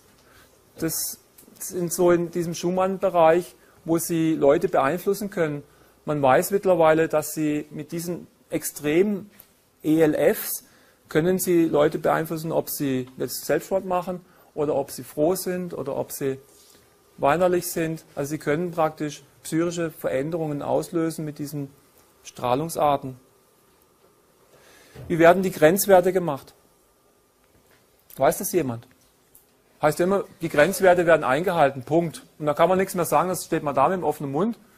Grenzwerte sind eingehalten. Schon gemacht mit dem, ah, okay. Da brauchen wir nichts mehr sagen mit der Erwärmung? Gut. Nein, wir haben nicht viel Zeit, deswegen. Ja, die machen nur die Erwärmung. Das wäre das gleiche, wenn Sie äh, radioaktive Strahlung nehmen und den Körper nur einen Grad erwärmen über 30 Minuten. Habt ihr alles schon gemacht? Okay, okay. Und das habt ihr auch schon gemacht, die Grenzwerte, die in Deutschland gelten und die biologischen wirken? Also, wenn man mal das D-Netz sieht, da gibt es ein Grenzwert in Deutschland, der 4,5 Millionen Mikrowatt pro Quadratmeter sind. Das sind Leistungsflussdichten. Da sehen wir nachher nochmal was Interessantes. Haben Abstand nochmal eine Aufmodulation von 8,34 Hertz und 2 Hertz. Das sind so in diesem Schumann-Bereich, wo Sie Leute beeinflussen können. Man weiß mittlerweile, dass Sie mit diesen extremen ELFs können Sie Leute beeinflussen, ob sie jetzt Selbstmord machen oder ob sie froh sind oder ob sie weinerlich sind. Also sie können praktisch psychische Veränderungen auslösen mit diesen Strahlungsarten. Wie werden die Grenzwerte gemacht? Weiß das jemand? Heißt immer, die Grenzwerte werden eingehalten, Punkt. Und da kann man nichts mehr sagen, das steht mal da mit dem offenen Mund. Grenzwerte sind eingehalten. Schon gemacht mit dem, ah, okay. Da brauchen wir nichts mehr sagen mit der Erwärmung? Gut. Nein, wir haben nicht viel Zeit, deswegen. Ja, die machen nur die Erwärmung. Das wäre das gleiche, wie wenn Sie äh, radioaktive Strahlung nehmen und den Körper nur einen Grad erwärmen über 30 Minuten. Habt ihr alles schon gemacht? Okay, okay. Und das habt ihr auch schon gemacht, die Grenzwerte, die in Deutschland gelten und die biologischen wirken? Also, wenn man mal das D-Netz sieht, da gibt es einen Grenzwert in Deutschland, der 4,5 Millionen Mikrowatt pro Quadratmeter sind. Das sind Leistungsflussdichten. Da sehen wir nachher nochmal was Interessantes. Und der Schweizer Grenzwert ist schon mal 100 Mal niedriger. Ja? Dann, äh, da wo der Herr Schröder immer Urlaub gemacht hat, haben sie 660. Also in Deutschland gelten 4,5 Millionen. Salzburger Vorsorgewert für innen ist 1 Mikrowatt. Sie haben hier einen Grenzwert von 4,5 Millionen. Und Empfehlungen für den Schlafbereich sind kleiner 0,1 Mikrowatt pro Quadratmeter. Und biologische Wirkungen sind nachgewiesen schon bei 0,2 Mikrowatt. Ja. Hier sehen Sie bei 1600 Mikrowatt schon und Gedächtnisstörungen bei Kindern, bei 1000 Mikrowatt Öffnung der Blut-Hirn-Schranke, 900 Mikrowatt Störung des Immunsystems, bei 800 Mikrowatt Calciumionen äh, können nicht mehr richtig fließen, auch die Veränderung der Zellmembran. Und Sie müssen es nochmal vor Augen halten, in Deutschland gelten für das D-Netz 4,5 Millionen Mikrowatt als, als Grenzwert. Ich sage es einfach nochmal so. Schauen Sie mal den Unterschied an. Und jetzt wird es interessant. Sie haben die volle Empfangsanzeige am Handy bei 0,01 Mikrowatt pro Quadratmeter. Zeigt das Handy an, volle Power. Ja? Und Sie können noch bei 0,001 Mikrowatt mit dem Handy telefonieren. Jetzt fragen Sie sich, warum sind die Grenzwerte so hoch? Weiß es jemand? Der Mobilfunk ist kein Mobilfunk mehr, sondern Hausfunk. Die hauen im Außenbereich. Da waren. Und wenn ich natürlich, gerade im Geschäftsleben, äh, wenn ich dann zu einem Vortrag gegangen bin oder zu einer Fortbildung, es waren immer Leute mit Handys. Und das war am Anfang äh, erst auch mal kein Thema, aber es begann dann damit, dass ich gemerkt habe, wenn andere Leute in meiner Nähe telefonieren, habe ich die gleichen Probleme. Also Nähe heißt, damals waren das vielleicht 15, 15 Meter. Also wir kommen da jetzt in den Bereich des Passivtelefonierens. Also ihr kennt das vom Rauchen. Passiv rauchen, passiv telefonieren ist das Gleiche. Ich komme auch noch, das ist mir auch ganz speziell, dieses Passivtelefonieren, das geht es ganz speziell dann auch um die Kinder. Da haben wir nämlich dann gleich den Angriff auf die Familien, der damit läuft mit dieser Technik. Okay, aber zuerst hatte ich Probleme, wenn andere in meiner Nähe telefoniert haben. Und ich habe halt dann am Anfang war es so, ich, wenn halt die Leute in die eine Richtung sind zum Telefonieren, dann bin ich halt in die andere. Das ging jahrelang oder ein, zwei Jahre wieder gut. Und dann begann es damit, wir waren auf einer großen Tagung in München, Hotel, alles außer 2000 Leute, äh, alles voll und auf einmal bekomme ich massive Sehstörungen, ich bekomme Herzrhythmusstörungen und bricht zusammen. Dann, das war dann immer so lustig und dann habe ich natürlich zu den Kollegen erstmal gesagt, fahrt mich mal in den nächsten Wald, mal schauen, ob es da besser wird. Also das wusste ich schon, im Wald geht es vielleicht besser. Kam dann, konnte nach drei Tagen im Wald wieder Auto fahren, bin dann erstmal zum Arzt und der hat natürlich gesagt, Mensch, äh, klingt nach Gehirntumor. Also Verdacht auf Gehirntumor. Ich war da ja, knapp so 23, 24, Verdacht auf Gehirntumor, nicht so spannend in dem Alter. So, also erstmal sämtliche Untersuchungen. Ich habe ganz, ganz viele ärztliche Untersuchungen hinter mir und das Ergebnis war dann, es können keine körperlichen Ursachen gefunden werden. Also sie haben alles durchgecheckt, es war nichts zu finden. Und ich war natürlich erst einmal, ist es vielleicht psychisch, kommt dann der Gedanke, ist es eine dämonische Belastung, könnte sein. Also es kamen so ganz, ganz viele Geschichten und das war es alles nicht. Ja? Und ich habe halt dann gelernt, damit zu leben. Ich habe halt mich dem etwas entzogen und es war erstmal gut. Bis ich 2001 von der Flugreise zurückkam und dann wieder zusammengebrochen bin, diesmal am Frankfurter Flughafen mit entsprechenden Zuschauern, sage ich jetzt mal vorsichtig. Ich kam also ins Krankenhaus, die haben wieder alles durchgecheckt und nichts gefunden. Aber das Entscheidende war dann, nach drei Tagen kam der Chefarzt zu mir, sagte Herr Weiner, äh, wir sehen, wie schlecht es Ihnen geht, aber wir finden keine körperliche Ursache. Haben Sie eine Idee? Habe ich mir gedacht, ja nett, der Chefarzt kommt zu mir, fragt mich, naja, weil ich ja jetzt der Spezialist bin, gut, ich bin Funktechniker, aber mehr auch nicht. Und dann habe ich es ihm halt erklärt, so meine Beobachtungen mit dem Funk. Und dann hat er gesagt, naja, also so richtig gehört habe ich das noch nicht, aber er will mal einen Spezialisten fragen. Und das eine habe ich mitgehört, er kam nach drei Tagen wieder und brachte mir eine Studie mit, Sie sehen es, Deutsche Medizinische Wochenschrift. Und jetzt schauen Sie mal aufs Datum. 5. August 1932. Als eingefleischter Funktechniker habe ich natürlich gleich gedacht,